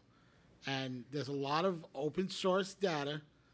Uh, Josh mentioned the target centric approach. There's a great book on it. I think it's Dr. Clark, Richard Dr. Clark. Clark, Uh, it's great methodology for analyzing data when collected via technical means. So I, I would encourage uh, for those in the audience, whether they're physically present or virtual, to consider that is that yes, uh, we've got to do this scientifically. It's got to be done using technical methods, but the uh, the analysis of the data really should be driven uh, from from a process that's that's doctrinally codified and consistent with best intelligence community practices, and that's that's just my my own perspective in my in my role uh, as national security advisor for the SCU. So that's just just some some thoughts that I I'd like to uh, share with everybody. But I think it's a, a great opportunity. Rich mentioned uh, the Aguadilla report. I encourage uh, everybody to, if they haven't read it yet, please get on the SCU website, take a look at it. Uh, Josh, we're all excited for your your dissertation to get published. No pressure, but uh, we're all excited to see your work uh, and and get a feel for the different observations beyond the uh, the established five that uh, you uh, you found in your research. And before I close out this this question, does anybody have any closing thoughts they want to share? No. Okay, great. Uh, I had to ask. I know everybody cringed when I did, but uh, moving on to the next the next question, uh, and this one's for for Rich Hoffman. Uh, to start, Yeah, to start. how how could uh, these advancements in our efforts to understand UAP impact new research and development in the areas of spectrum analysis, spectrum warfare, secure communications, or cyber-related technologies? Wow. uh, let me sum it up in two words. No, I, I wish I could. Uh, so, I guess how I want to address that one is, you know, number one, I'm kind of like the, this odd bird in the sense that I'm, I'm a ufologist within the military world, right? So, uh, you know, that's kind of like a, you know, almost like an oxymoron, isn't it, or something like that? But anyway, uh, but anyway, so the situation is that, uh, you know, the challenge is that I have, a, I've gained a better understanding of the need for national security uh, as I've now gotten into that field. And so I always walk the simple dance of like transparency versus, you know, the security concerns of keeping things. And how do you deal with the fact that there's a whole world out there of people who experience these things that also want to know about what you're learning, right? And then how far can I go with knowledge sharing? And when does it, when do you trip over that and you're now into some sort of cons- security concern and everything else? Because, you know, th- th- that's, it's always a delicate balance between the two. Uh, you know, and to me, it's always been one of these things where it's like, you know, literally over here at the Arsenal, I mean, probably every minute there's at least 200 attempts to attack our IT systems by every country that's out there that wants to be a nasty adversary, right? And all these hackers. And we're constantly dealing with those security threats to get our information. Why? Because they want to be able to get things like R&D that they don't have to spend money on, and they can get that R&D, right? So, you know, I, I jokingly pointed out to um, uh, the number of years there was there was a gentleman by the in UK called Gary McKinnon. You know, he ended up getting some information in a, in a NASA system, and he saw everything else. I, I said I, I welcome him to come to my desktop at work because if he took a look at the UFO stuff that I had, he'd have a fun time looking at that. You know, wow, the Army is actually really into this stuff if they came into my computer, right? So I'm going like, boy, you know, that's pretty interesting. But anyway, uh, to me, it's a situation, you know, just getting hacked. But we're always out looking at that, that cybersecurity concern. We're looking at the national security implications of this uh, phenomena, if you would. Uh, it's not, I understand that the, the United States government wants to do what it can around this thing, but I, I really strongly encourage that, that there needs to be some sort of, you know, sharing amongst our uh, uh, other people that are friendly and everything else that we can have conferences like this and everything else, because I really believe that collaboration is going to help, and getting scientists around the world engage is also going to be able to help us out. So I think that that's an important point that I just wanted to make. Uh, and then we have to figure out, well, how do we not get into sources and methods and all that wonderful stuff that's in the classified world? And I, I've also struggled with the fact that there's a lot of information out there that, that literally I see on the SIPRNet and things like that that could be shared. If you redact certain pieces of information and everything else, uh, you, you can do that. And so uh, I just, my hope is that, that ultimately we can do that delicate balance, but figure out how we can be more transparent and open about things. Uh, and uh, I don't know, does that answer the question at So I- all? I, I would say, yeah, no, it was great, great. But I was going to say response. also spectrum, because you did That bring was- up the spectrum. that Let me was come back- where I was- I was So going. spectrum in the, in, the- in the context, and I think that, you know, if you talk to Travis Taylor in this room, you'd see that he was trying to look at i- implications and stuff like that from across the spectrum out at the Skinwalker Ranch, right? It was like, you know, going across the, uh, the electromagnetic spectrum. And, you know, our combat systems and things we have for our defense rely on those kinds of things and that they don't interfere, right? I mean, we're communicating with a pilot, between a pilot and a ship and everything else, and all those communications things rely on that, that radio frequency that they've got, and, and you can't have that overlapping concern from other things that are interfering with it. Well, if UAP are having an impact, that's why you would like, well, what frequency was it? And I need to find out one out and work it out. That's why you have all these people to be able to work through those things to be able to do that. And I think that, you know, the, the spectrum uh, is, a, is a great part of our discovery about this phenomena. And we need to look at multi, multi parts of the spectrum. And I'm thrilled by the fact that if you have infrared, you're out of the visible part of that spectrum, right? And the, the, spectrum is huge. I mean, in either end, you know? So why don't we start looking at these things from those other advantage points? And I think that that's needs to, we need to look at that as well.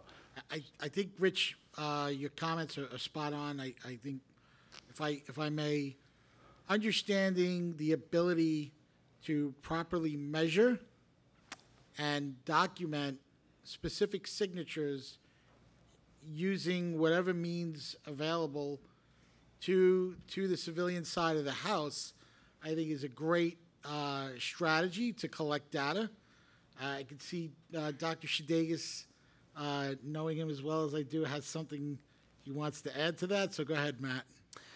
Yeah, so on the issue specifically of signature, signature management, actually, that's one of the uh, observables, if I'm not mistaken. That's why exactly why you need multimodal sensors, because it is even if you had a civilization potentially or technology far more advanced than us, it'd probably be impossible, almost impossible, or really hard to mask all your signature in all the different possible ways. So, in fact, there's historical evidence of this. This goes back to the 1990s with cases in um, Mexico where you had objects that were visible in infrared, invisible to the naked eye, and vice versa. That don't make any sense. We have the you have your lenses invisible and infrared pointed at the same proportion of the sky, and one sees nothing and one sees a very clear object. So I think that uh, this issue of signature management, there's been Lue Elizondo's talked about this, is a really important one. And how you get around that is by having multimodal sensors, which was called for by the UAP task force. Um, and uh, we did this on, on UAPX, as we're talking about uh, tomorrow, partnering with SCU to analyze the data we have. And again, no mention in the congressional hearing, even though we did exactly what the UAP task force called for last year. Uh, we went and did it, but um, no recognition and credit for that whatsoever um, on the Hill. And, and the whole approach was is you don't just also it's not just different frequencies of the electromagnetic spectrum you have to go beyond that as well as and we see this in all fields of science and especially um, in astronomy you learn more the more new vistas you open up suddenly you realize oh you weren't listening to that part of the universe and you don't even know what's there in the history of astronomy this happened with development of telescopes that didn't just do visible light right? We have radio telescopes. We have the cosmic microwave background studied a different way. We have telescopes across the electromagnetic spectrum, but the electromagnetic spectrum is not everything there is. We then developed gravitational waves with LIGO and Virgo, and suddenly now we're, we're looking at a completely different part of the universe. Maybe a few centuries we'll talk about how, like, oh, you know how we used to look using light at the universe, and now we use gravity because it's so much better. Like, these are the things we need to consider. Is also is really, um, really outside the box thinking on the type of uh, uh, sensors we want to use. It's great, Matt. Thank you. I, I, I hope it's uh, it's evident to to the audience that what we're trying to do here is tease out some thoughts, and the theme the theme so far, at least in my mind, is you know, for those of you out in the field that are that are really studying this or investigating it. Technical collection or technical analysis is critical. Uh, data sharing and collaboration is critical. An intelligence-driven analytic methodology is critical. A multimodality sensor strategy is critical. Uh, Use infrared, but use thermal as well. Understand the different spectrums that you're dealing with. Electromagnetic frequency detection is important. Uh, but it, it can't be just one or the other. It's got to be an all the above approach. And in order to understand the phenomenon truly from a technical perspective, that's the only way to do it because invariably, what one individual may see in one region of the world using technical means may not be the same capability others are seeing in other parts of the world. And it's not all the same. And it, again, it's important to use technical methods, but a multimodality approach. Uh, Rich, go ahead. Yeah, I was just going to point out to you that, like, for example, those devices that we're putting on the installations for looking for drones allegedly, what happens if one's not a drone? Okay, you know, you get the idea, right? But anyway, we're using acoustics, we're using spectrum, and we're using everything from like sonic. You know, uh, uh, we're looking for, uh, we're also looking for radar. We got all those devices there to be able to, and that's the kind of approach that I'm talking about, where you're starting to get all those different other sensors, if you would, that feeds you information to allow the individual then to go take control of that individual's drone, and we can drop it. We can find out where the operator is off base, and we have the means of doing that as well, right? If it's a drone, what happens if it's not a drone? You know, if it's a UAP? Will these things work? And I can give you an example in just the USS Kearsarge, in a sense where they had two systems that were allegedly supposed to be able to go and to do that drone killing. They didn't work. Okay? So what does that tell you? If it wasn't a drone and we couldn't take over, what was it? How are we going to distinguish that? From a national security standpoint, if I'm on the ship, are these hostiles or not hostiles? And I can't discern whether it's a drone or I can't determine whether it's a UAP. Right? So you come back to why are we talking about national and threat management? Right. I I think, Rich, I think a key uh, point was, you know, along with all the other types of sensors, acoustic is an important, important part of it as well. Uh, Dr. Nolan, any, any comments or thoughts? Yeah, I mean, right? I, he touched on uh, one of the things that I, I find interesting is w- what are we not listening to that's there? Yes. Uh, and the other one is, is there a signal already being sent to us? Right, so there's signal that you hear about, right? People hear things in their head. How are they doing that? Right. Right? W- What is that? You know, how are they reaching into people's brains, affecting the proteins in ways that we can't possibly understand that get turned into a signal in our head? So somehow the information comes from over there where we don't understand it to over here where at least we can turn it into an electrical signal understanding and say, okay, well, but then how did that turn into consciousness? And where do, how, do, how do such complex concepts get passed over? So that's a kind of signal. And then I think of these objects individually and how they coordinate. So how are they coordinating with each other? Right? Do they just know ahead of time what they're going to do? Or is there some very low level EM going between them or something behind the scenes down under into some other quantum level that they're interacting with each other? So eh, to me, th- that is not just a question, it's a practicality opportunity. If they're doing it, how are they doing it and how can we replicate it? I mean, that's what gets me excited because I'm interested. I mean, again, going back to my cancer work, I look at stuff, I figure something out, and I go, oh, wow, okay, we can use this. I can make this instrument, and I can give everybody else the possibility to do this. So that's, that's yet another, I think, thing that I think I think we're being given a signal somehow. Or, uh, there's clearly something emanating that is not passive that we need to understand. They affect our planes, right? I mean, they reach in, turn stuff off. They, re- they reach in and read stuff from people's heads. What is that?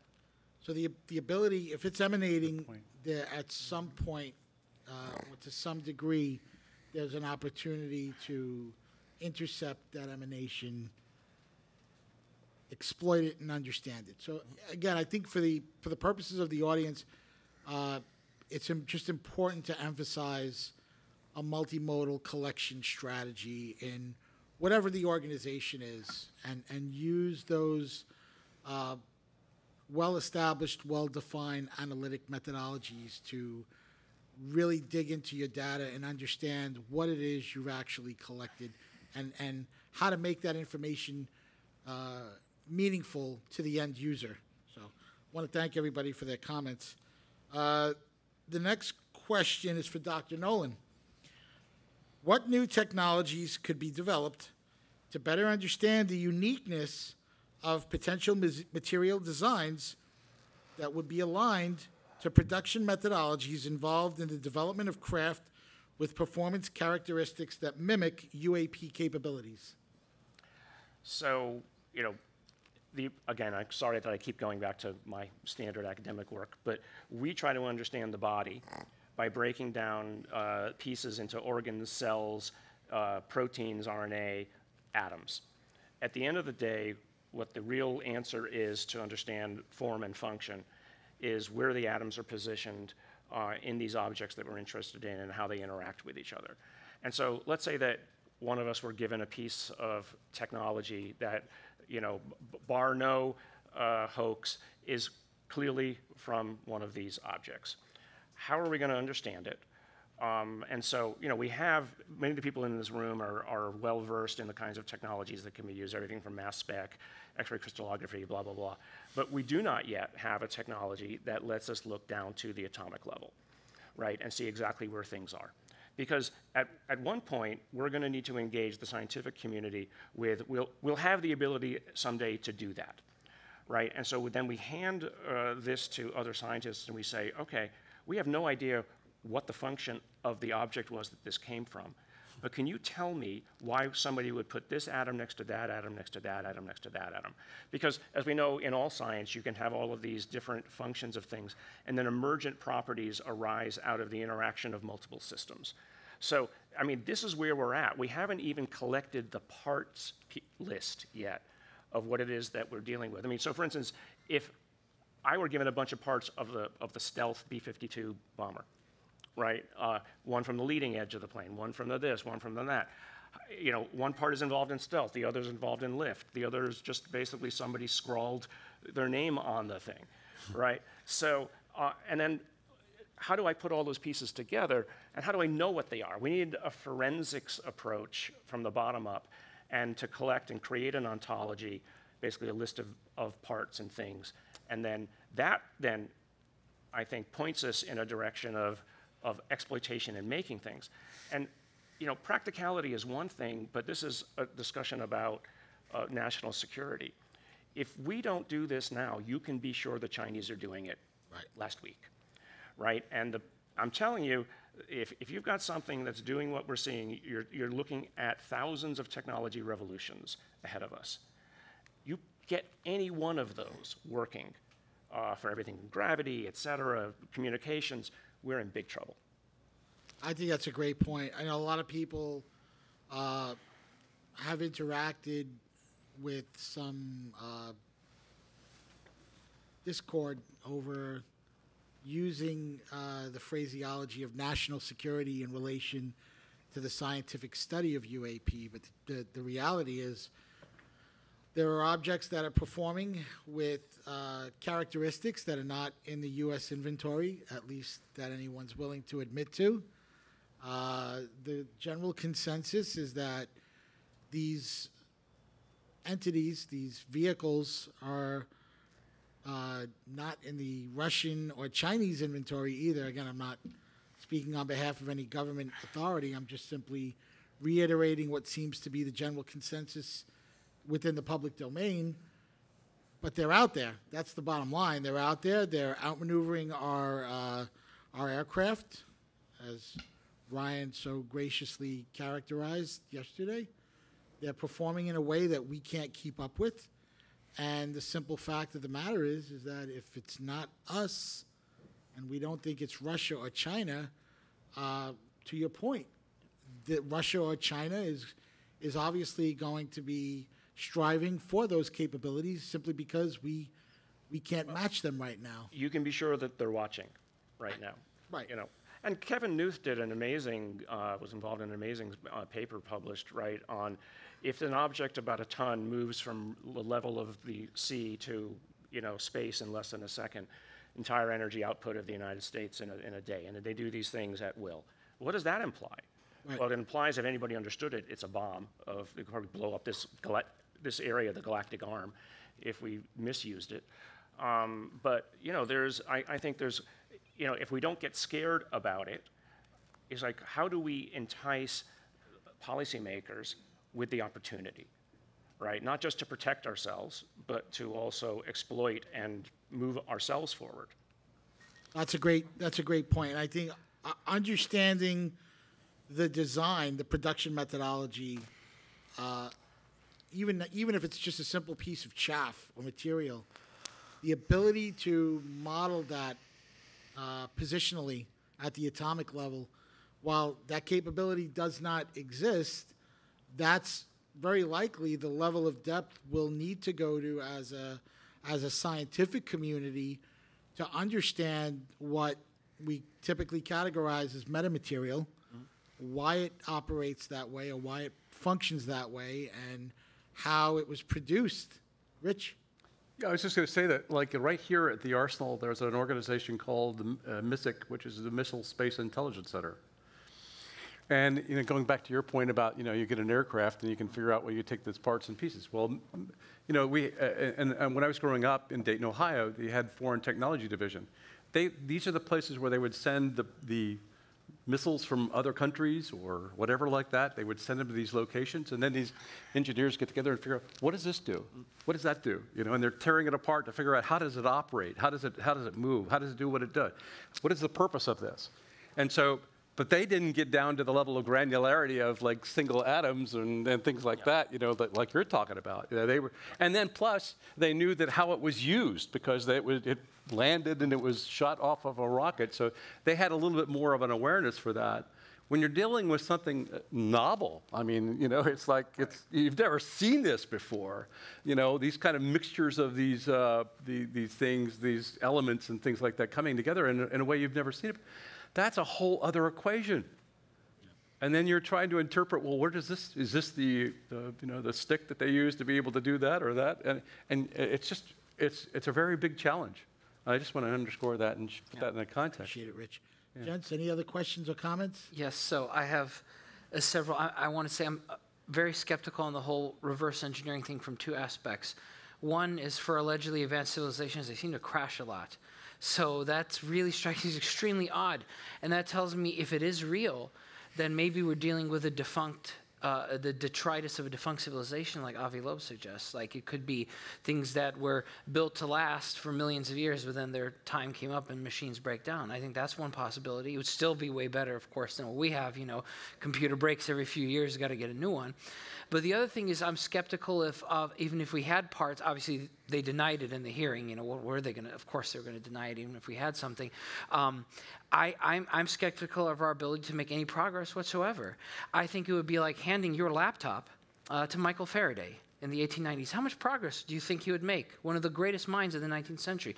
He would make none whatsoever. His, by the time the battery died, also, he'd make even less progress on your laptop.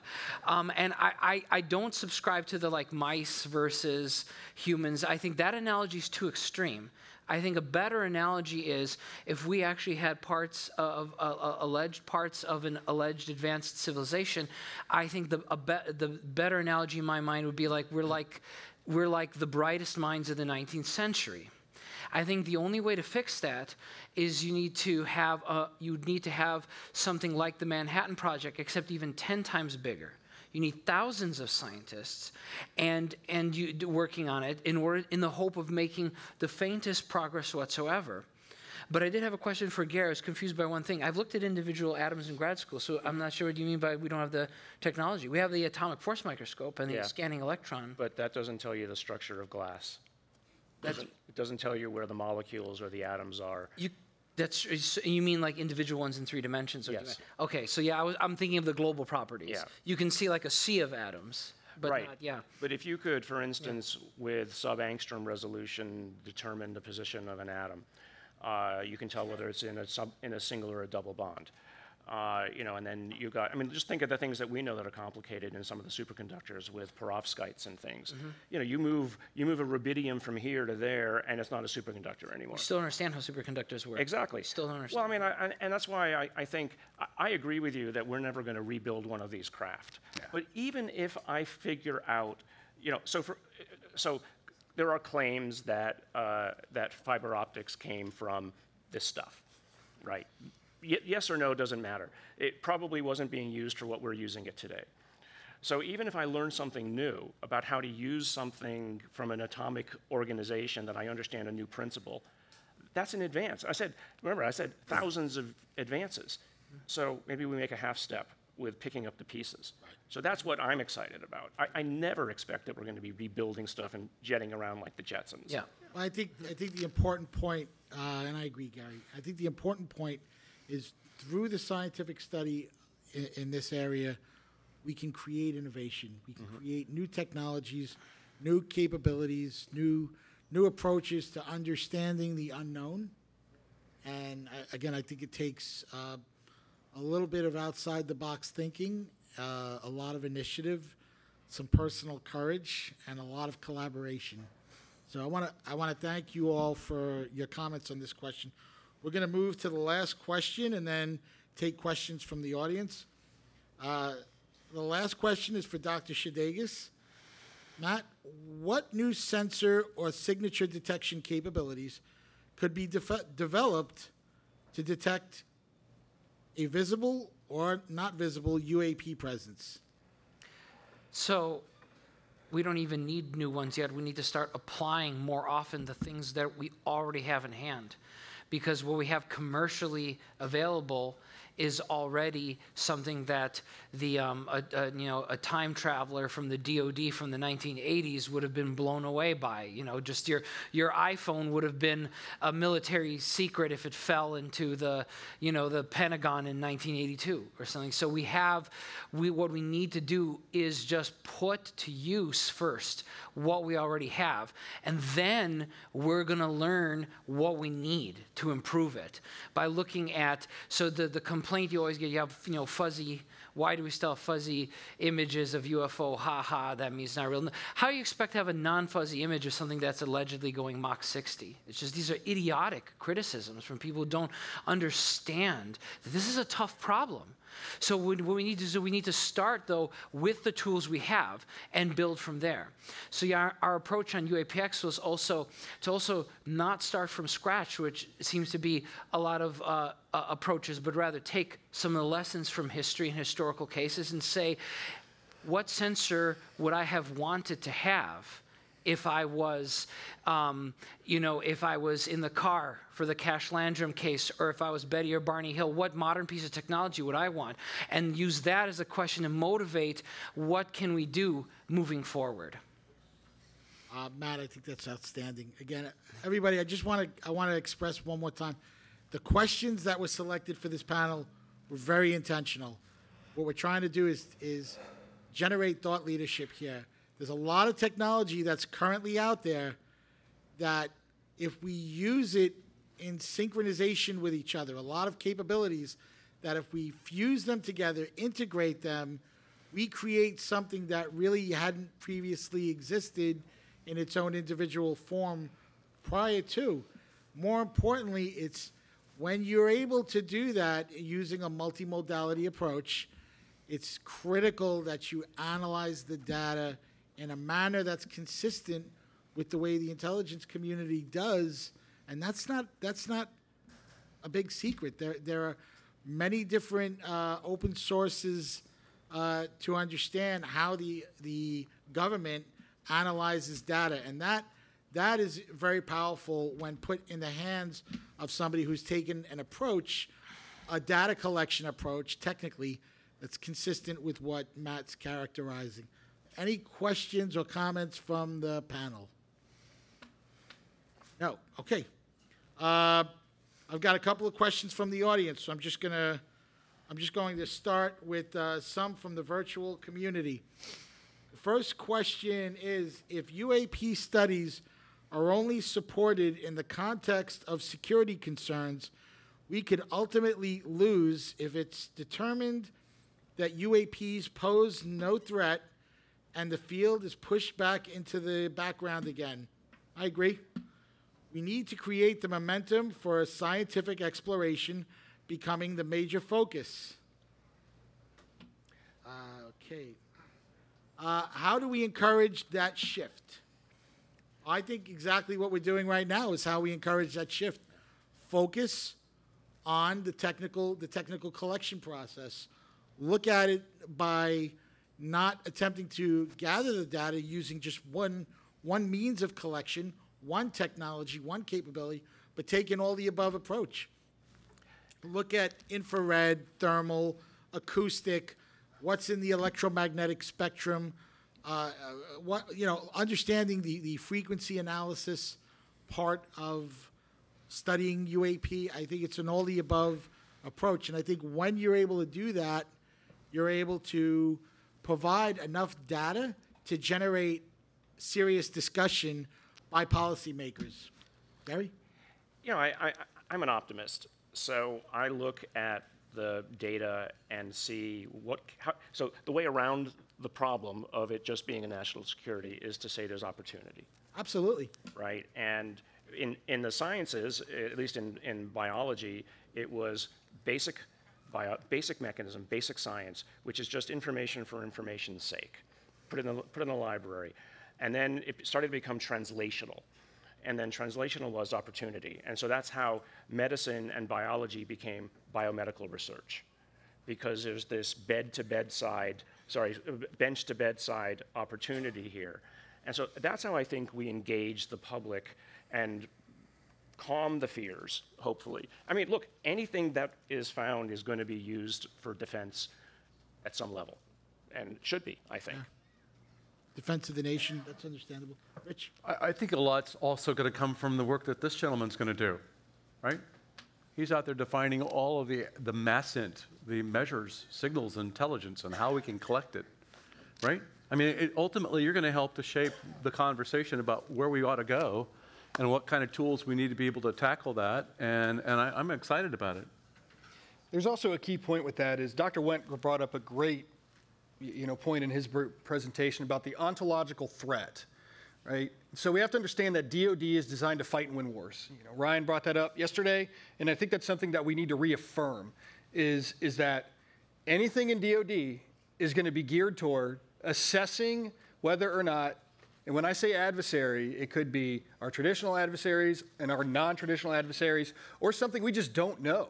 Is going to be, we are assessing that through a threat matrix to determine what it can do to end the social contract of the United States. And, and that's important to understand that as we're trying to talk about how do we get information from the government, why is it parked in DOD, uh, how do we, uh, is it something that we can do on our own? And I think given what UAPX accomplished, it, this is definitely something that the community now has the capability to start assessing on their own and then running it through an intelligence analytic, a structured analytic technique used for intelligence analysis, which is a scientific process which differs from a, differs from a scientific method. I don't need to start with, an, with a hypothesis when I'm doing my research. I can start with a question and a curation standard because that is what Intel is, is. I seek to answer a priority information requirement or question, and then I have a curation standard for what I'm running my data through based off of that question. And then the output is a series of other techniques that are used to provide a predictive model. And so if we understand that when we say threat, we don't mean that, you know, there, somebody could, you know, park a bomb outside the, you know, facility, whatever. It could be ontological. They could be friendly, and, and we just don't know it but it still poses there is still that gap of what is threat and and so uh, as a scientific community is looking at it from a scientific proposition there's also the value proposition on the strategic security element and the national security element that we have to look out for the interests of those of us sitting in this room for the security interests of those of us in this room Thank you, Josh. I think we've had a very, one thing I, that's been confusing about the government approaches, if you look the past few decades, but also now, even between different agencies, it's a very schizoid approach. It's like Schrodinger's cat. We've been told it's not a national security threat, don't worry about it. And now, yes, it is a national security threat. So make up your mind. Alive or is dead? it or is it not a national security threat? and I feel like UAPs have had it both ways. And we saw that in the congressional hearing, even. Oh, it's not a big deal. Let's smile, you know, about it. And at the same time, it's a national security threat.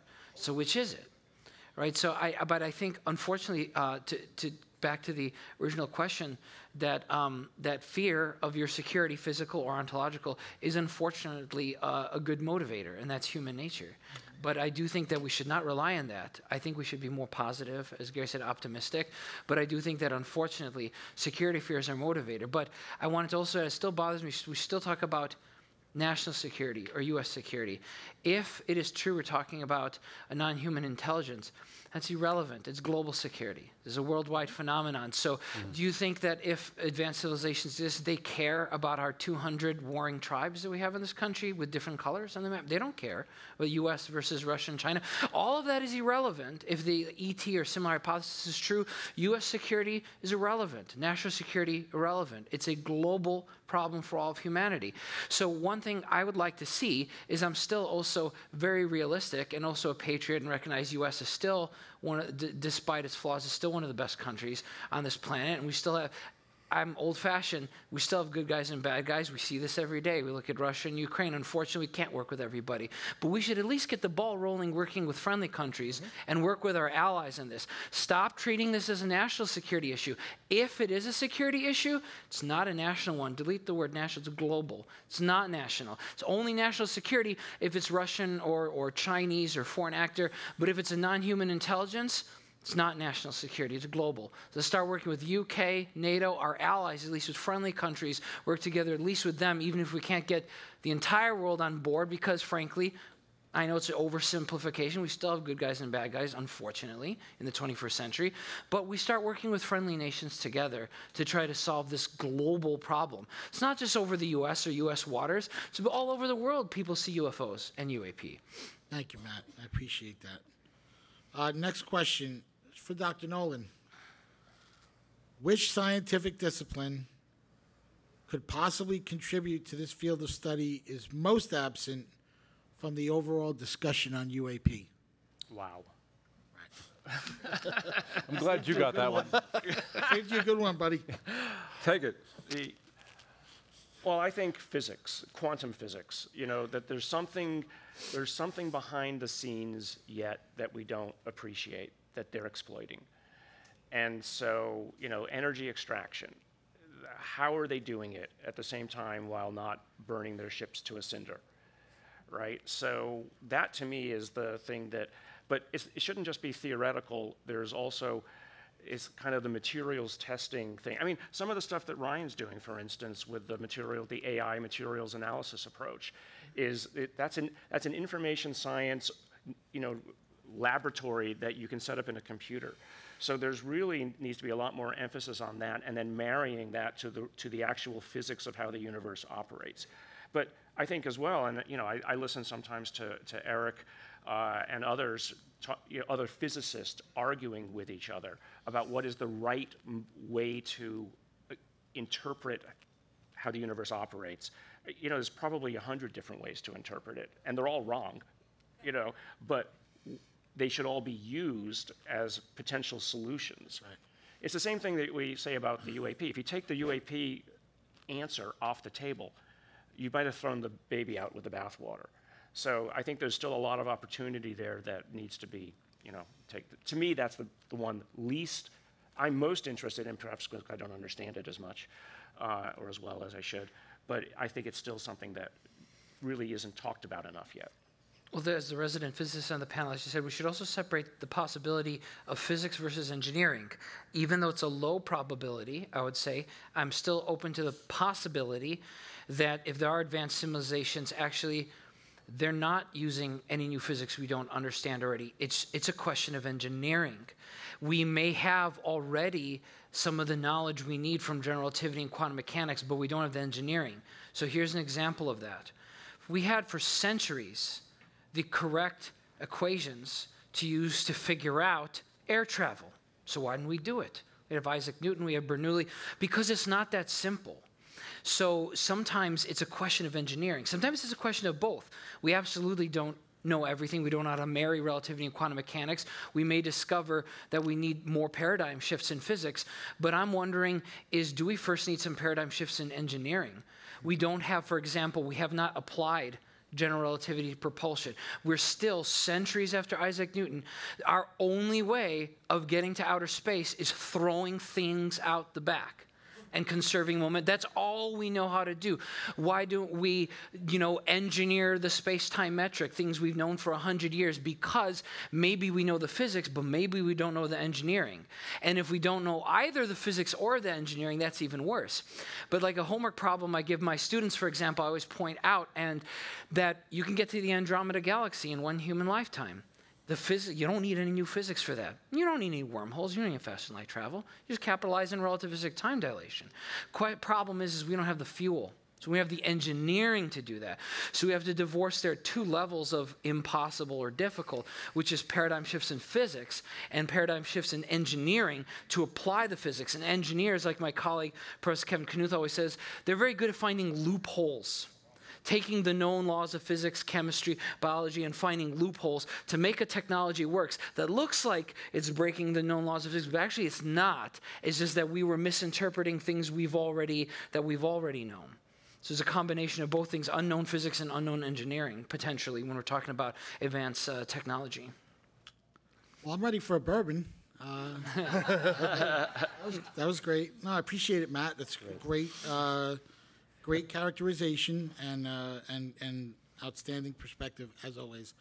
So we're running a little bit low on time, so I'm, I'm going to speed through a few of these if that's okay, Rich. Sure. Okay.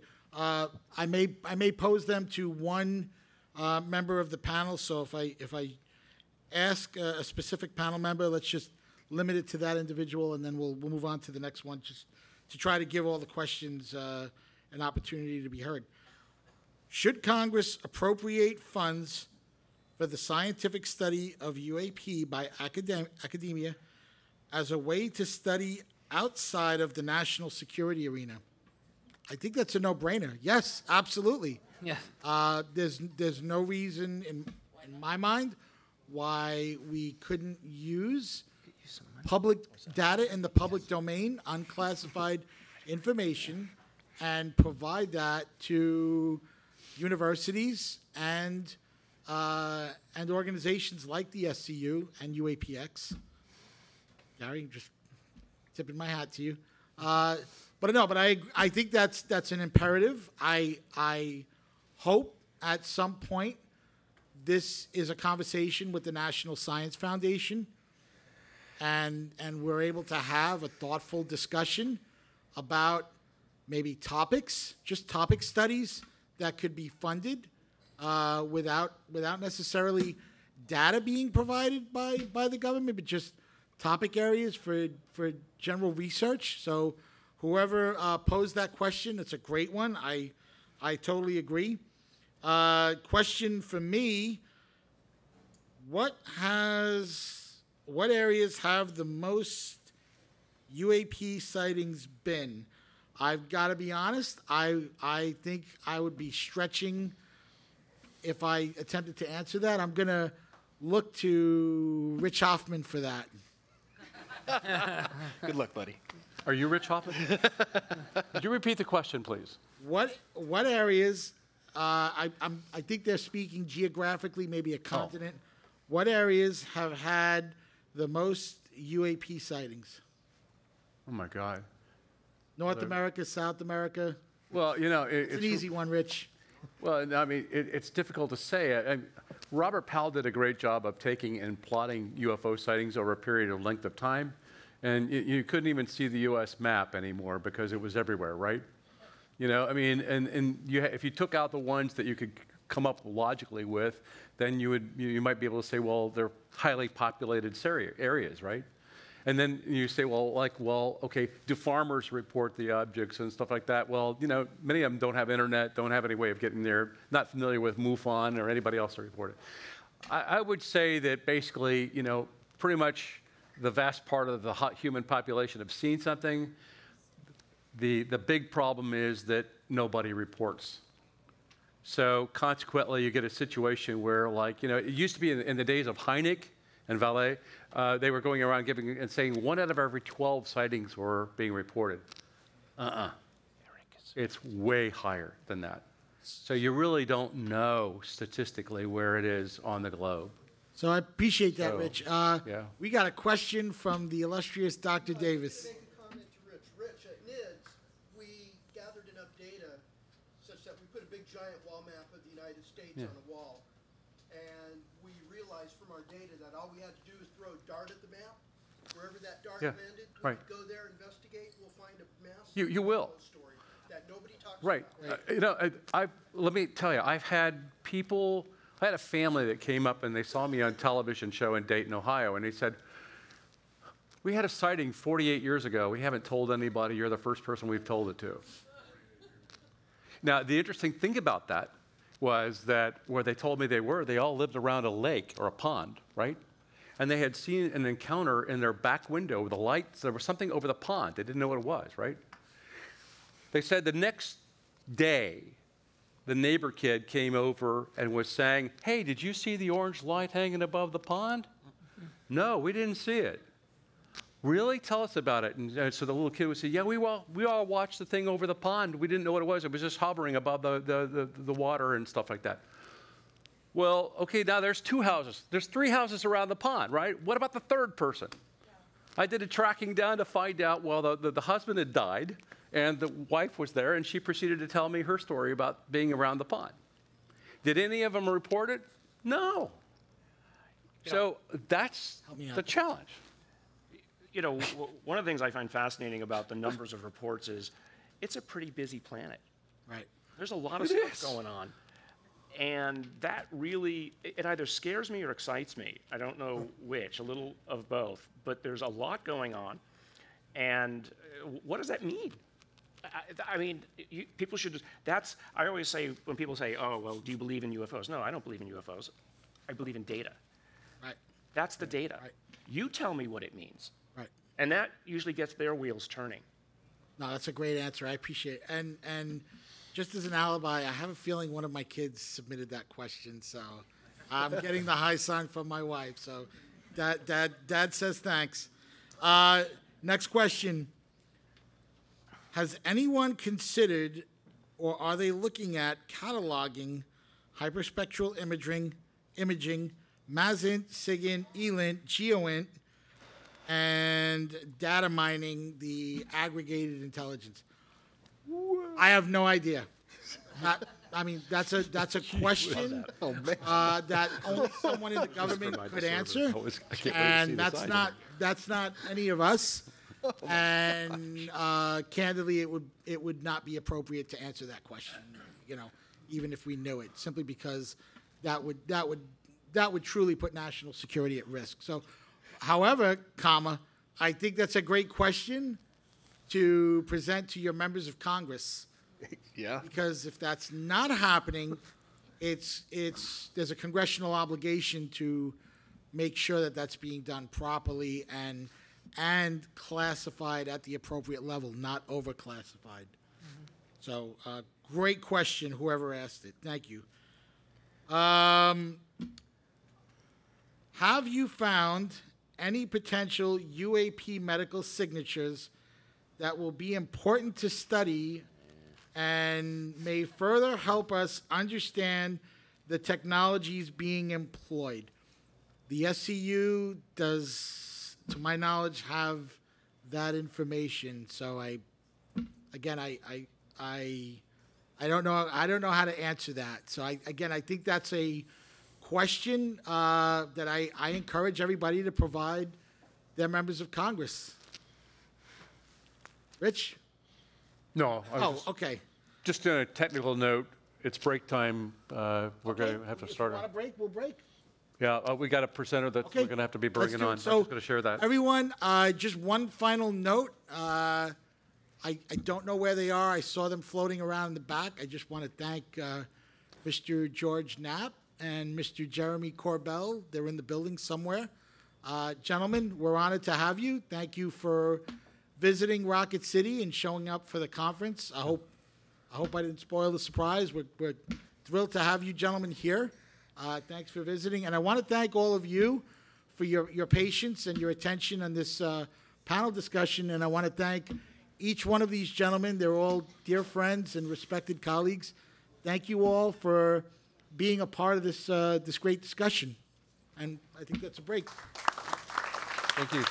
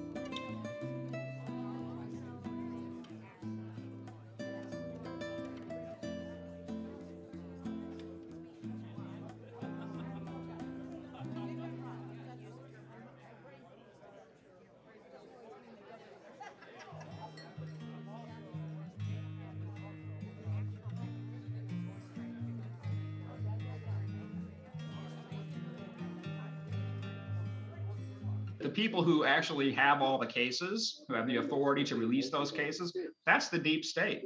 And every country has a group like that, presumably in the bowels of its bureaucracy. So um. Wait, so wait, what what was the question again? I'm sorry. Go ahead, Rich. Could you repeat? Um, It was just getting your thoughts on that idea in terms of the fact that the government probably knows a lot more than they're really telling you, and they, you know, they're not uh, they're not just talking about the, the they don't understand or not aware of what the source is. Yeah, no, I think the government clearly knows much more. Whether they, um, of course, the government is not a unitary body. It's presumably the people who have access to these cases. They may disagree among themselves about what the cases represent. Um, but yes, they may know more. They may have a pretty good idea that these things are not human. I would guess they have a pretty good idea about it. If they don't have that idea, then I'm not sure what's going on. So in that sense, um, they may know more, but they don't have any idea what to do with it. So yes, and then that's part of the secrecy. On the other hand, that may be good. Maybe they're telling a noble lie here and they're trying to protect us from the truth because if we're not ready to hear the truth, then all hell breaks loose. In the case of the search for extraterrestrial intelligence that's going on, it's been going on for quite some time. Uh, what do you think about the possibility that it could actually draw hostile aliens to the Earth? Well, it's always possible. Um, In the case of the search. you know, there are arguments, as everybody here knows, that as any civilization that lasts long enough to be able to travel interstellar differences, distances will probably be nonviolent because if they're violent, they're likely to get destroyed.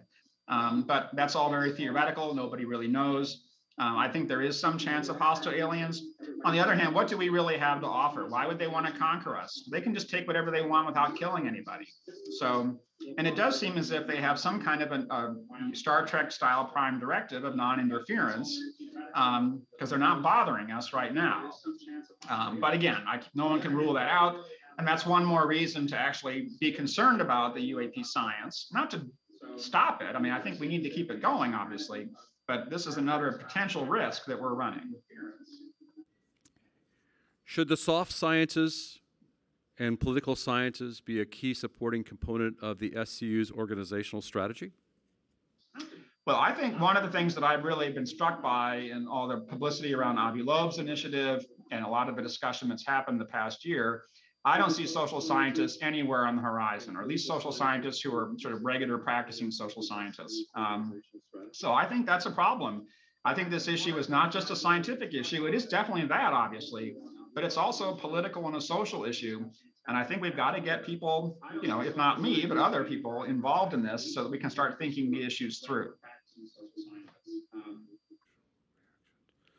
Um, do you see uh, do you see appreciation of social movement theory models to determine social reactions to UAP disclosure? Well, that's, that's interesting. I don't know much about the social movement literature. There's a whole academic literature on this. Do you see, Um, uh, And there's actually not just social movements, but one could imagine a lot of psychological research, social, sociological research on how people might react. Um, one of the papers I assigned in my seminar last uh, spring was a paper about how do people react to uh, panic and disasters, which was, you know, had nothing to do with UAP, but it was fascinating discussion about panic in disaster situations. So I think there is a lot of literature that social scientists have already produced that at least indirectly speaks to these issues, but not in a direct way. So it's a matter of connecting the dots as much as anything, I think. Okay, well, another question here. What role do you see strategic security research taking to address the existential threat that UAP pose? Well, I mean, if this, if the strategic thinking is about physical security and worrying about being attacked, well, that is sort of an important question. And I guess the military should worry about how they're going to deal with an invasion if that actually happened. Again, I think that's very unlikely. If the threat is ontological, though, that's a different kind of threat. And the military may not be able to deal with that. That may be a public relations issue. That may be a job for scientists or social scientists or whatever. So um, I'll leave it at that, I guess.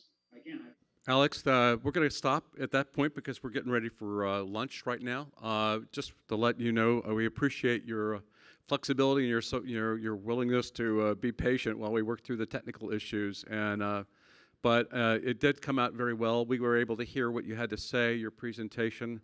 I think we'll work on it so that when you're joining us tomorrow virtually, that you don't go through Hoover, but you'll just use the link, the Zoom link that we send to you again. Okay? But we want to let's have a big round of applause for Alex.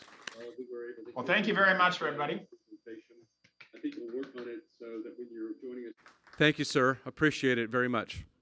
All right, well, that concludes uh, this portion of it. We're, I think, pretty much back on track in terms of our schedule, which is good. Uh, and then we're going to come back after that, and we'll have our national security implications of studying scientifically uh, UA- UAP. Uh, we'll have a panel here for that. All right, thank you. See you in a bit.